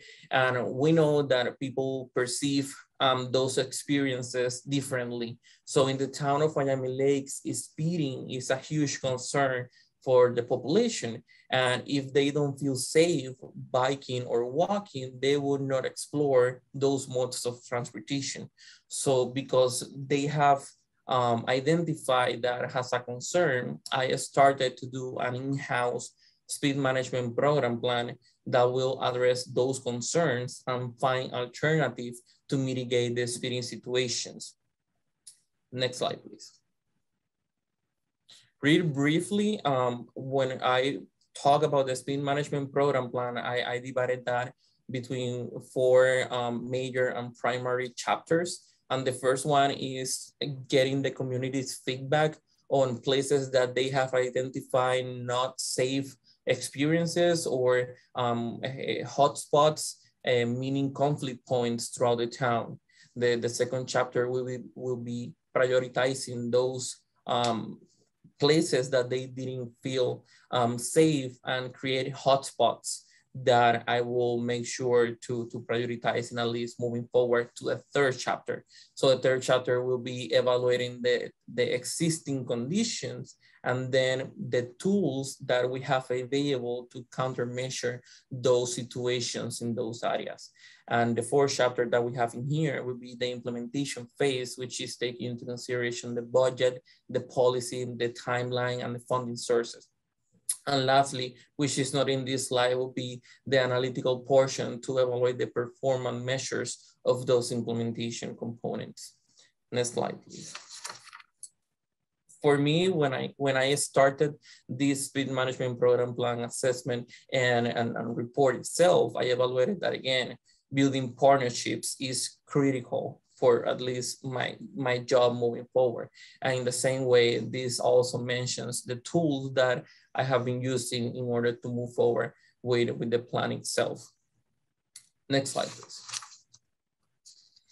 So the first thing is the perception of uh, the, the commuters and, and, residents and also people traveling throughout the town, but also the facilities. So in order for people to get out of their cars, at least from my perspective, I, I will need to offer them those facilities to keep working and, and completing that trip, right? So for example, this is, this is a road that is, is within the town of Miami Lakes and the typical sections and are not appealing to the eye of at least a, a, bi a bicyclist or, or, a pedestrian, right? So the travel lanes are wide, uh, approximately between 11 and 12 feet wide.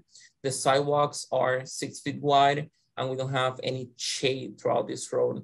So as a transportation planning manager here and advocating for safer um, modes of transportation and, and trips, I have been working with the Public Works Department to propose projects moving forward that will address uh, multimodal facilities, uh, kind of like complete streets projects throughout the town to keep encouraging people to, to use other modes of transportation. So for, for this particular project, we proposed this um, back in 2018 and, and we got the award from, from uh, FDOT and we are exploring two different options that we have identified within the grant scope in order to, to, to bring those um, facilities into, into the corridor. Next slide, please. The first one is um, contemplating a road diet um, from four travel lanes to two travel lanes and um, leaving the sidewalks in the same space that they are and adding a protected bike lane. In the same way, we are trying to convert this um, corridor into a greenway corridor, bringing landscape for shading and a better experience for the pedestrians and the bicyclists, and also the drivers itself, you know. Next, next slide, please.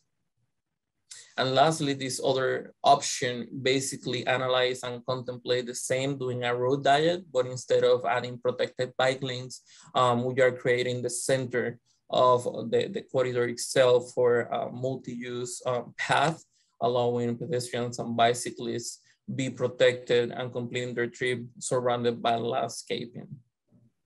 Uh, next slide, please. And now I will leave you all with Kristina. Thank you, Michael.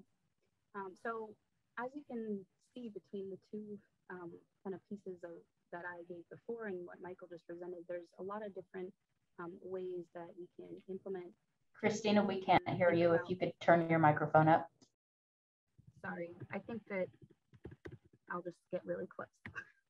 Um, so as, as you've seen in, in the presentation so far, there's a lot of different ways we can go about approaching um, changing um, perceptions of the streets uh, for the public and implementing TDM. So um, just wanted to emphasize in this slide here um, the importance of communicating uh, with your partners and having those conversations early on so that we can identify um, any deviation in the perspectives or um, we can basically identify all of the different viewpoints and approaches to TDM and work through those.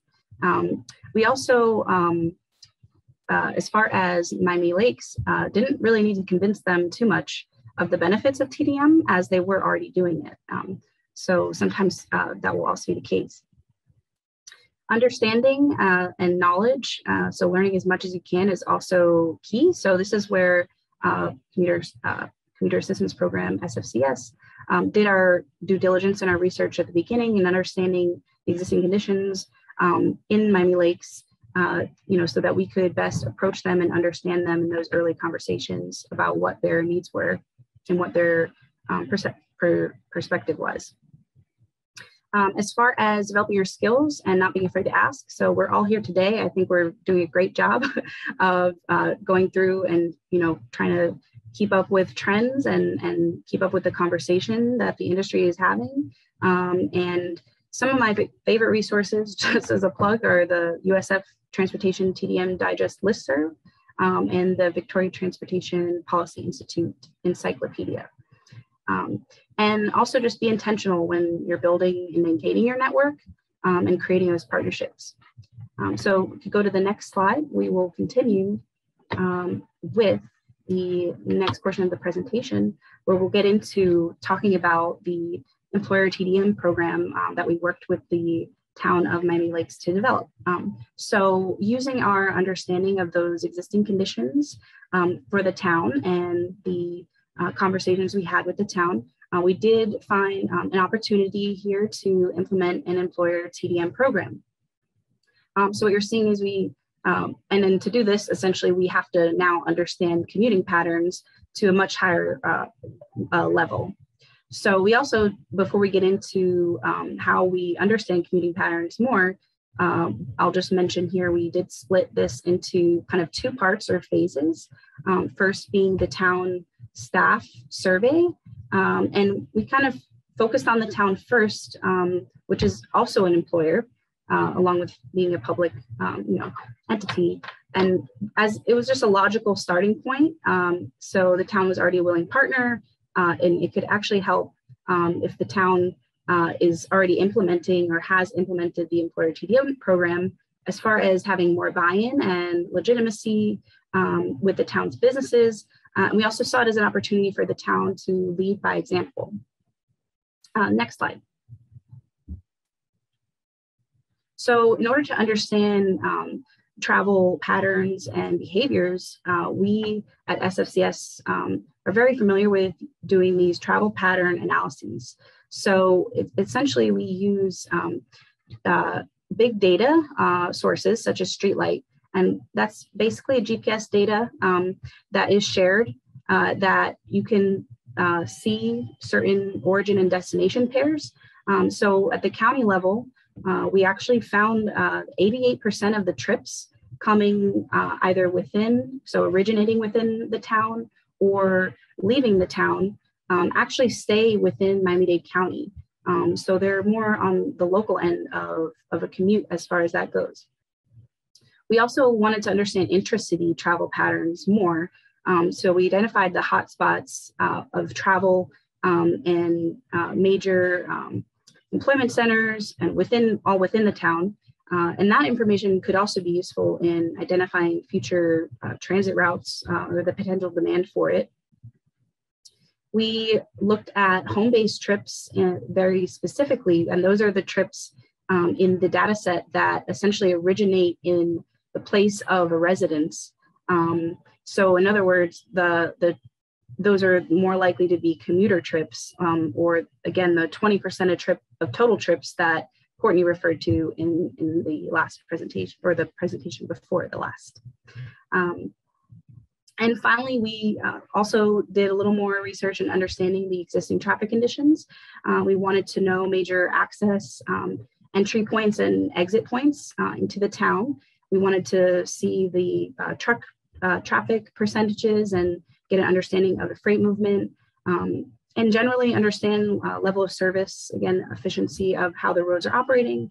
Um, so based on the survey uh, that we did with, with the town and based on the existing conditions and based on this travel pattern analysis, we uh, one of our recommendations is to promote their existing uh, Freebee microtransit that they have. So go to the next slide. Um, it's actually the final slide here. Um, we, um, we did identify uh, one of the recommendations, like I said.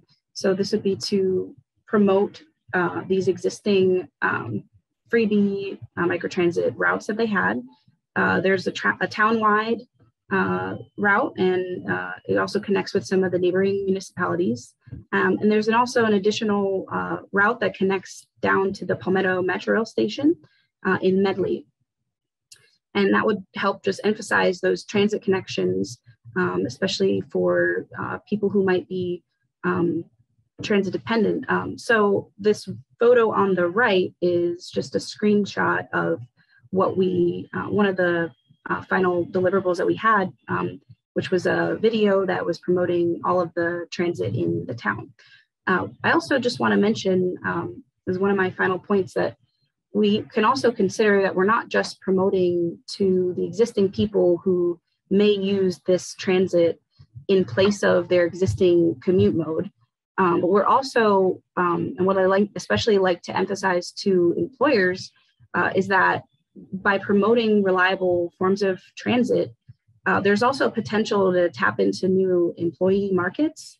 Um, again, I mentioned the transportation dependent populations who utilize transit a lot.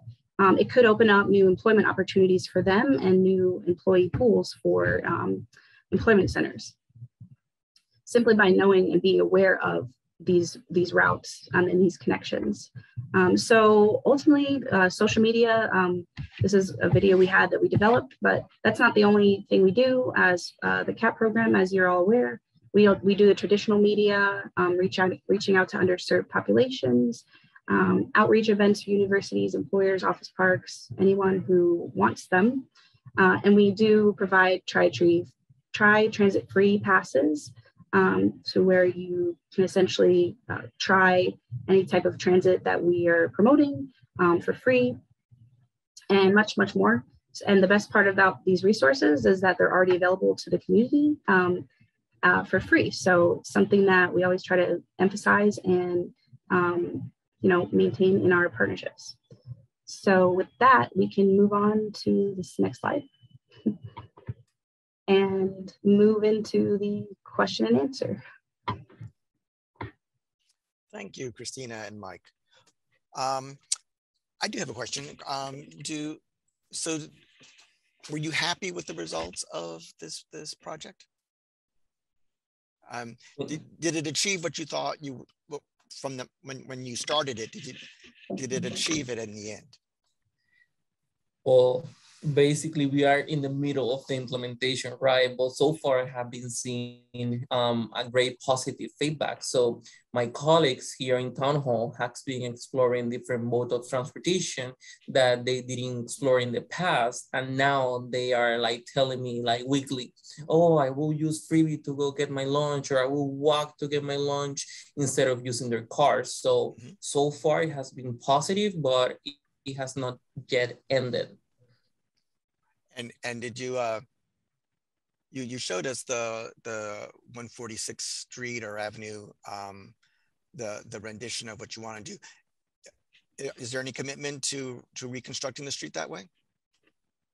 Well, that that is an actual project that is ongoing. So right okay. now, next fiscal year, we are going to enter into the design mode and we are going to do a traffic Great. study to see the road that is feasible but it's something that we are committed to do. We are committed to bring multimodal facilities to the town.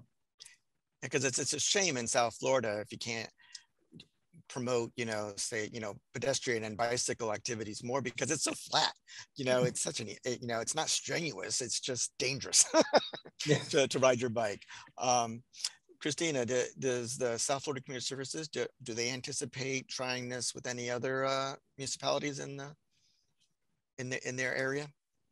Uh, yeah, definitely. We're always open to partnering with other municipalities. Um, we probably already have a couple um, in the works, uh, and I think uh, we've we've already done the employer um, survey actually with uh, FDOT. Um, that was actually our original um, kind of pilot of, of that employer uh, TDM uh, outreach.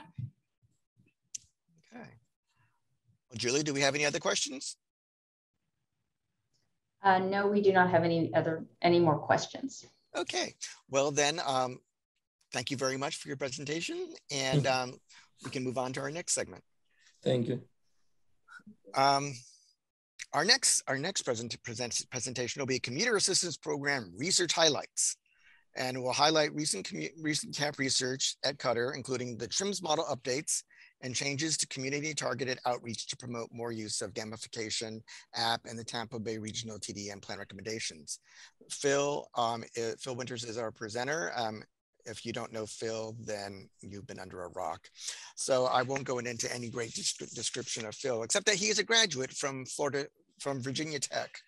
And I have to squeeze this in. Uh, a little known fact about Phil is that um, for two years at Virginia Tech, he was the body in the Hokie mascot costume. And it, it, it, triggered all sorts of dreams on his part to move to Disney World and maybe one day uh, be able to work up to portray uh, Goofy. But, but, but those dreams burned down to the ground and, and he has found solace in the TDM world. And for all of us, he is super Phil. So uh, come on, Phil. Thank you, Mike. That was very creative of you. uh, next slide, please. Yeah, um, as Mike said, I'm going to quickly touch on some of the research that we're doing and or completing uh, in the midst of completing. So next. The first one is our, what some of you may be familiar with is our TRIMS model. It's basically a spreadsheet model that predicts the, the societal costs and benefits associated with TDM strategies. So like any good spreadsheet, it's like, what if? What if we did this? What if we subsidized transit by a dollar a trip? What if we provided $5 a day for people who van pool? Uh, what if we gave them closer access to the building and reduced their walk time by 10 minutes?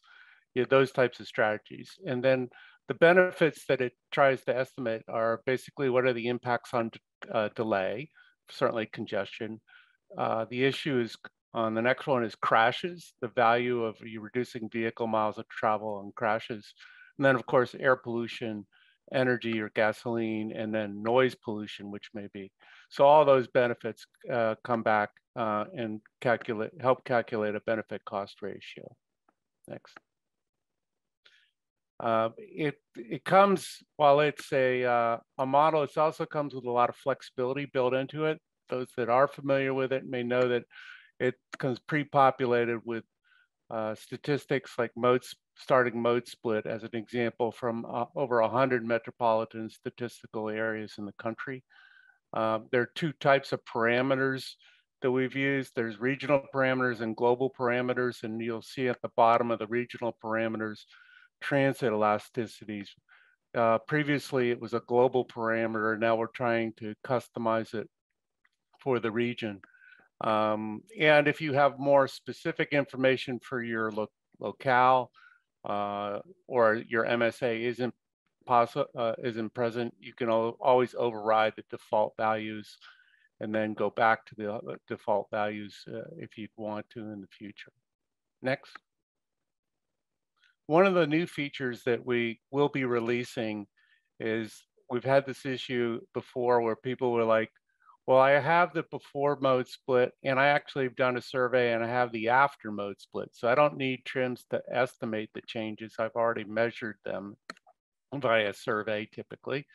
Um, so we allow you to certainly enter those values in and estimate what those societal benefits are. So if all you have is beginning and end mode split or, or beginning mode split and what you hope to be the end mode split, you can estimate that. We also added a, this new feature that allows you to do multiple locations at a single time instead you, so you don't have to run them one, one at a time. And that includes, it can aggregate all, if you have multiple sites around the country, it can aggregate them all up into a single uh, output. So if you're doing a, you know, a, a corporate report for your business, you could estimate that. You can also do it at this, obviously at the state level too. So if you have facilities here in Florida and Tampa, Orlando, and Tallahassee. You could sum up uh, what are those impacts for all three locations at one time. Same with metropolitan statistical areas. And then also employers. So if you're dealing with multiple employers and some of them may have multiple locations, you can do that. And based on the employer ID, it will group them and give you um, outputs just for the that particular employer at all their locations that are participating. And of course, at, at the lowest level, it disaggregates and shows you what, whichever ones you put in. Next.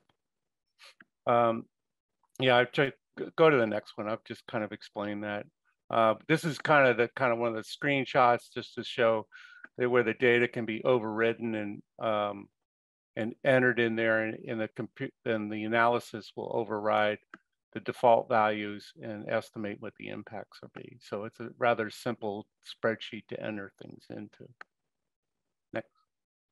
All right, the next the next project that we worked on is kind of picking on on what's been discussed, several of the programs in the state of Florida, well, I think all of them do have have basically a gamification component of it. Uh, there are three in Central Florida, the District One, which is Fort Lauderdale, Sarasota, uh, District 5, which includes Orlando and Daytona, and District 7, which includes Tampa and St. Pete Clearwater, um, for those that aren't familiar.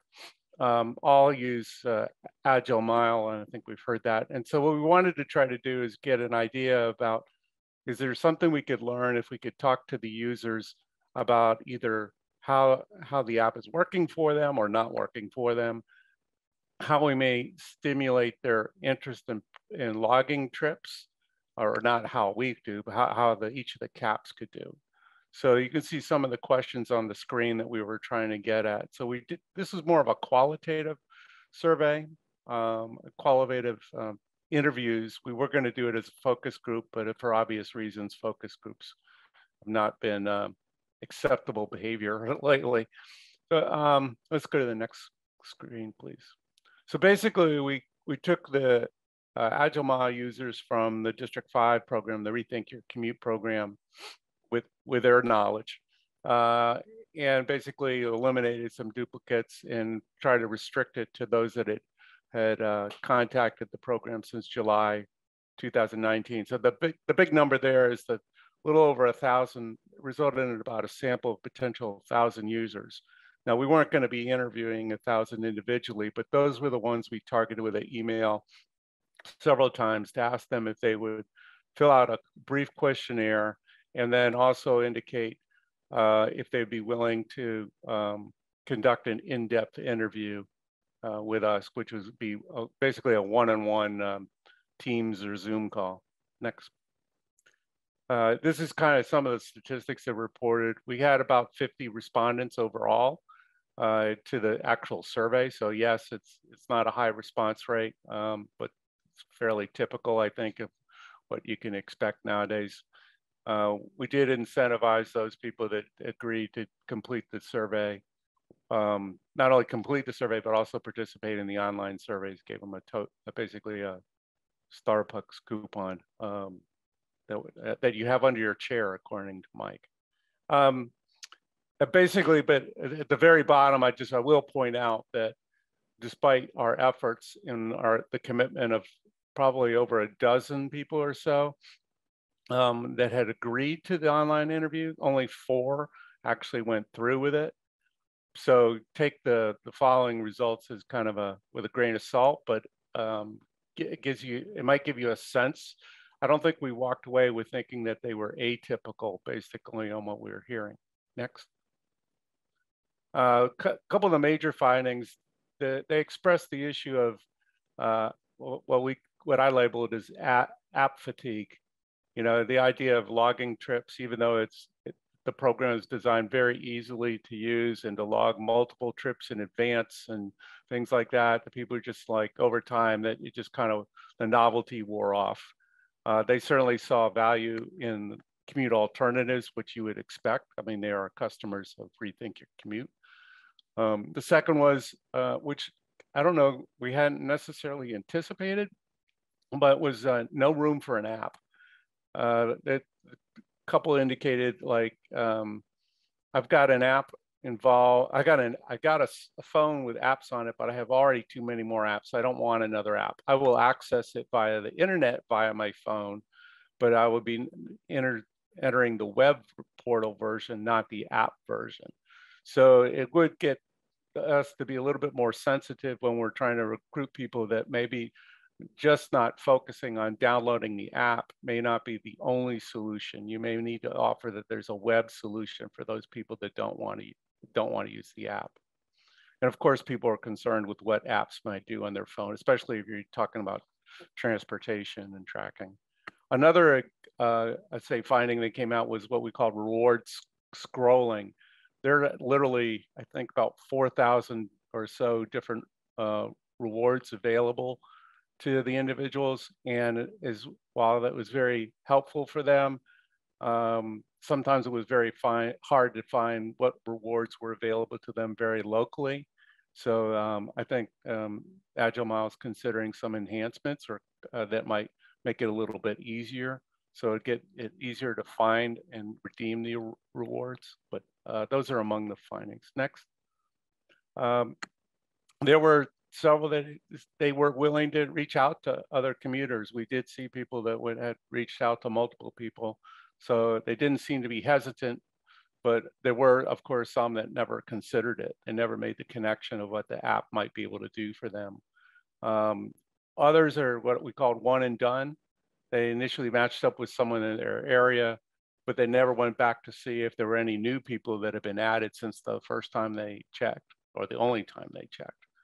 Uh, or in the case of some of the folks that are working different shifts or different change jobs or whatever, they didn't necessarily go back to change their profile or recognize that they're, you know, maybe they're on the, you know, first shift this week, this, this month and second shift next month, uh, that they, they might benefit from having um, more than one profile that make it available. And finally, that would allow them to accommodate multiple schedules. Next. And yeah, again, I've kind of said that some preferred the website over the app. Um, three out of the four users stated they did not again, it's just only four users, didn't state, or three out of the four users stated they did not use the website or app to find someone to share the ride. Uh, and several of them were uh, existing transit users, for example, so they didn't find the need to look for, say, a carpool or a van pool. Next. Um, these are the suggestions, including you might be doing things like identifying suggested routes. I think that goes with Courtney's comment earlier about cut, like customized transit maps, uh, same with bike routes, um, and make it a little bit easier for them to enter information on a recurring basis. Next. And finally, to um, talk a little bit about the commuter assistance program regional development plan for District 7, which is Tampa Bay, which is the, what kind of the map's shown. One thing we noticed in doing, looking at a lot of these plans, that we're very good at mapping transit routes and highway improvements and bike paths and sidewalks even on maps. But there's little representation of what some of the traditional TDM strategies are. Um, what you're seeing on the map with the help of Commute by Enterprise, we asked if they could generate a map that would show the origins and destinations of their van pools. So it's kind of a, it's hard to see on that map for probably for many of you, but there's several stars, including MacDill Air Force Base and a couple of the VA hospitals in the area where the vans go to and then what the colored dots represent is which location they go to. But it gives a representation of what vanpool means, and we think that this could be important of trying to represent uh, TDM and some of these other long range plans. Next. Uh, basically was to develop a, a, regional development plan for the Tampa Bay area. Many transit agencies have what they often call transit development plans, but there's nothing for TDM. Now, there, um, this was not intended, well, at least didn't turn out to be specific project related like you might get in a TDP. Um, this was like, how could we, how could the region better support what TDM could do both on a policy and an investment strategy? Uh, in particular, we wanted to not make it redundant for the several different types of transit uh, plans that are being developed in the region. So we wanted to make sure what we were doing was supportive of the vision for these plans. Next. Um, we came up with some guiding principles. Again, we, we, wanted to figure out, focus on optimizing the existing transportation system, um, intensify the high interaction outreach and the high touch customer service, because we recognize that high tech by itself won't solve all the problems. For example, you could have an app, but if and you can get people to download it, but if they don't set up their profile and use it, it doesn't do you much good. So it, it's going to take some hand holding and uh, high touch customer service. We want to provide certainly more choices to improve mobility. Um, as pointed out earlier, there, there, earlier, there's a large share of the population that does not drive. Either they care not to, or they're too young to, or, or um, or no longer needed to drive to work. So the recognizing that there's a big portion of people that are not being served be, just because they choose not, or yeah, basically they choose not to drive. Um, and this, of course, means taking a customer service, um, customer first approach with a focus on the individual experience, not just the system-wide benefits such as reducing congestion. It's getting down to what do they need to solve their needs. Um, next. Uh, prioritize service for existing customers. Uh, as we find in our research before that being a satisfied customer is more likely to increase word of mouth endorsements. So if you're focused on the existing customers, or I guess as Courtney picked, pointed out, they were riding transit to save money to get a car type of deal. Um, yeah, if you're paying attention to existing customers, you might be able to reduce the churn, if you will. Build upon effective programs and services that are already in place now and not just create new new things. Everything is like incentivize new and you know new creative technology. It's it's uh, bright and shiny. It doesn't always uh, replace the basically the elbow grease that makes it, ha it happen for so many people. We, we certainly believe in the philosophy of incentivize, don't necessarily penalize, though that, may be uh, differences of opinion among uh, on some.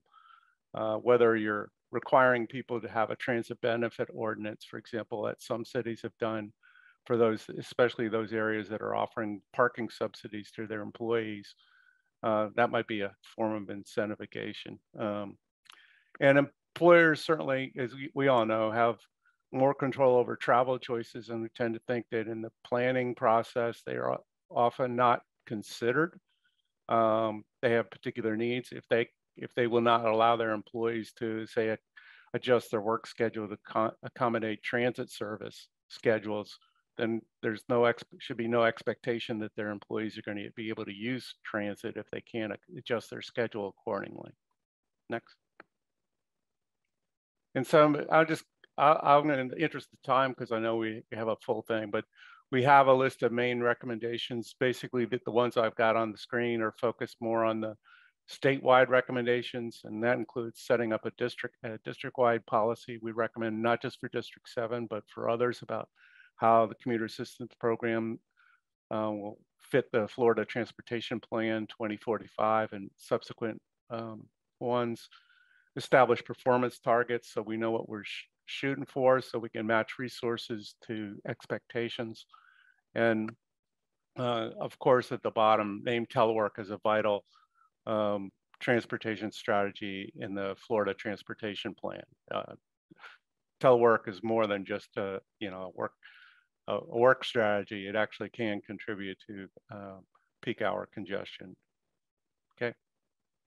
Um, and then the, we think that there should be actually roles for more of the commuter assistance programs in some of the planning efforts. Uh, maybe uh, relinquishing some con uh, control over this congestion mitigation air quality funds to enable greater flexibility that are used in most parts of the country. CMAQ can be used for TDM. Uh, it's not traditionally used that way here in Florida. And we think that should be reconsidered. And finally, develop a statewide commuter assistance program plan which I think the procedures is a start in that way, I would expect, or a part of that. Other research in progress, um, we're working on a business benefits calculator like TRIMS, but to help estimate the benefits for employers, like changes in productivity, reductions in overhead. Uh, we, several of you are familiar, we're starting a neural, neural marketing evaluation of TDM marketing materials in conjunction with a center here on camp, our campus here at University of South Florida. We're also starting the pilot of a vehicle occupancy detection of, of on managed lanes using an app called Ride Flag uh, that uses an app and taking photos to count how many bodies are in, how many people, sorry, how many people are in each vehicle. So that would allow people to use form spontaneous carpools and val validate that they have a sufficient number of people to qualify for either discounts or preferential treatment in some other way.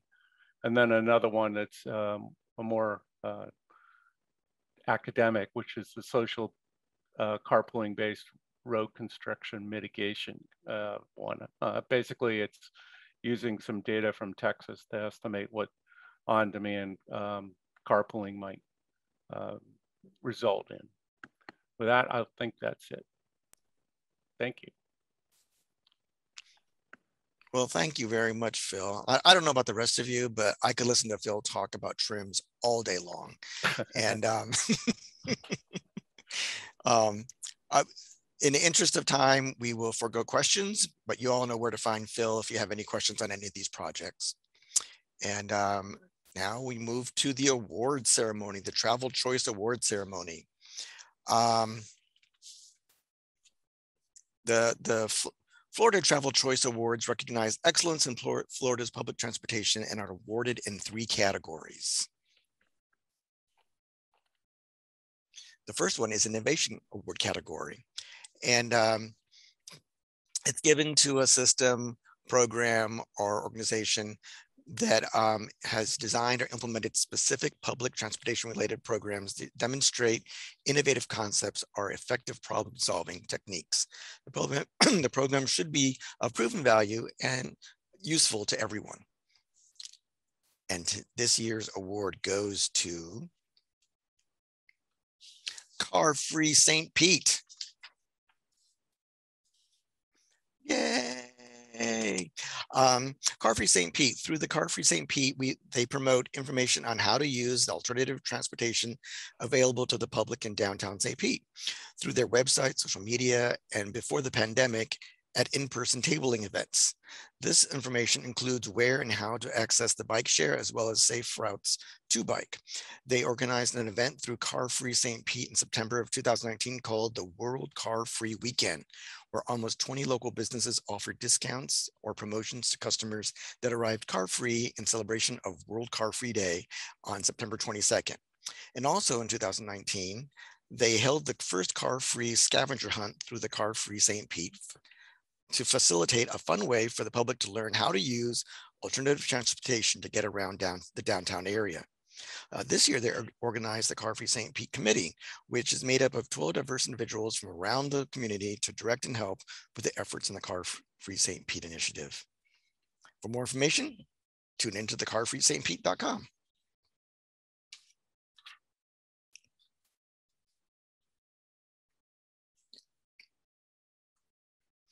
Our next category is marketing excellence, Re recognizing excellence in Florida public transportation related marketing, including advertising campaigns, electronic media, print media, and special events. This year's award goes to Manatee County Joint Outreach Plan. Yay! Um, the crowds are cheering uh, uncontrollably.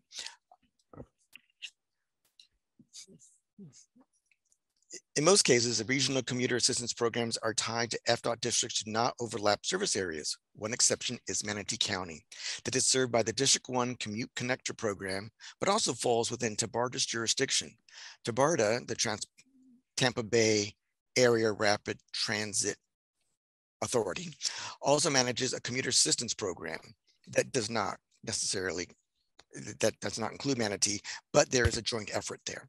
While the CAP services do not overlap, they have created room for confusion, that has created room for confusion with Manatee County and created a marketing opportunity for both TBARTA and Commute, Commute Connector. A marketing plan was implemented in the 2021 fiscal year that included a jointly created stakeholder document strategically conducting joint outreach as appropriate and the creation of the first Manatee County Earth Day Transportation Fair. That's a mouthful. And Green Your Commute Week this past July.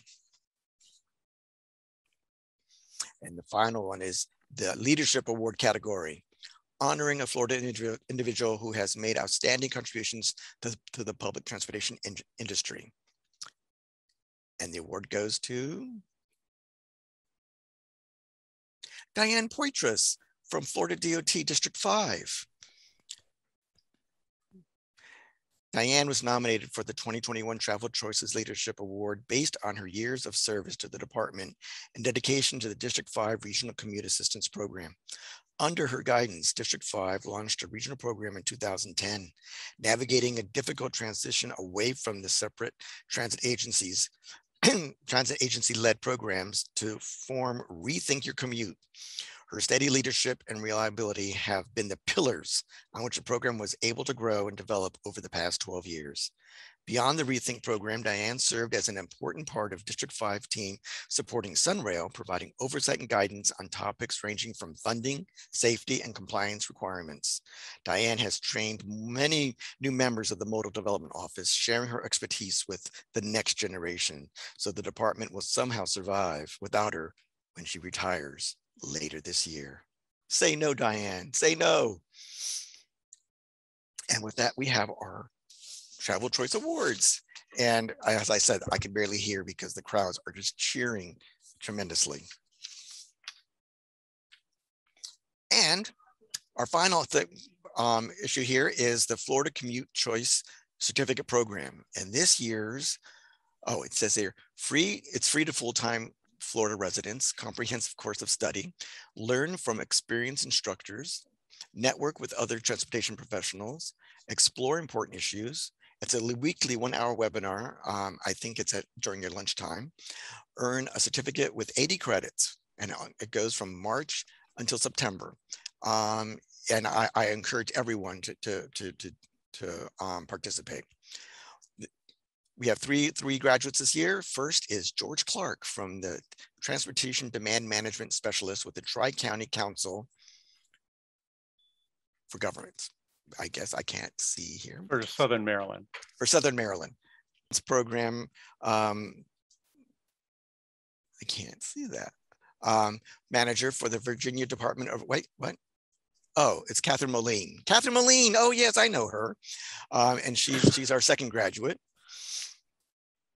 And our third graduate is John O'Keefe, account executive with Ride Finders, which John told us that Phil was the founder of in Ride Finders in Richmond, Virginia. And congratulations to all of you for completing this program.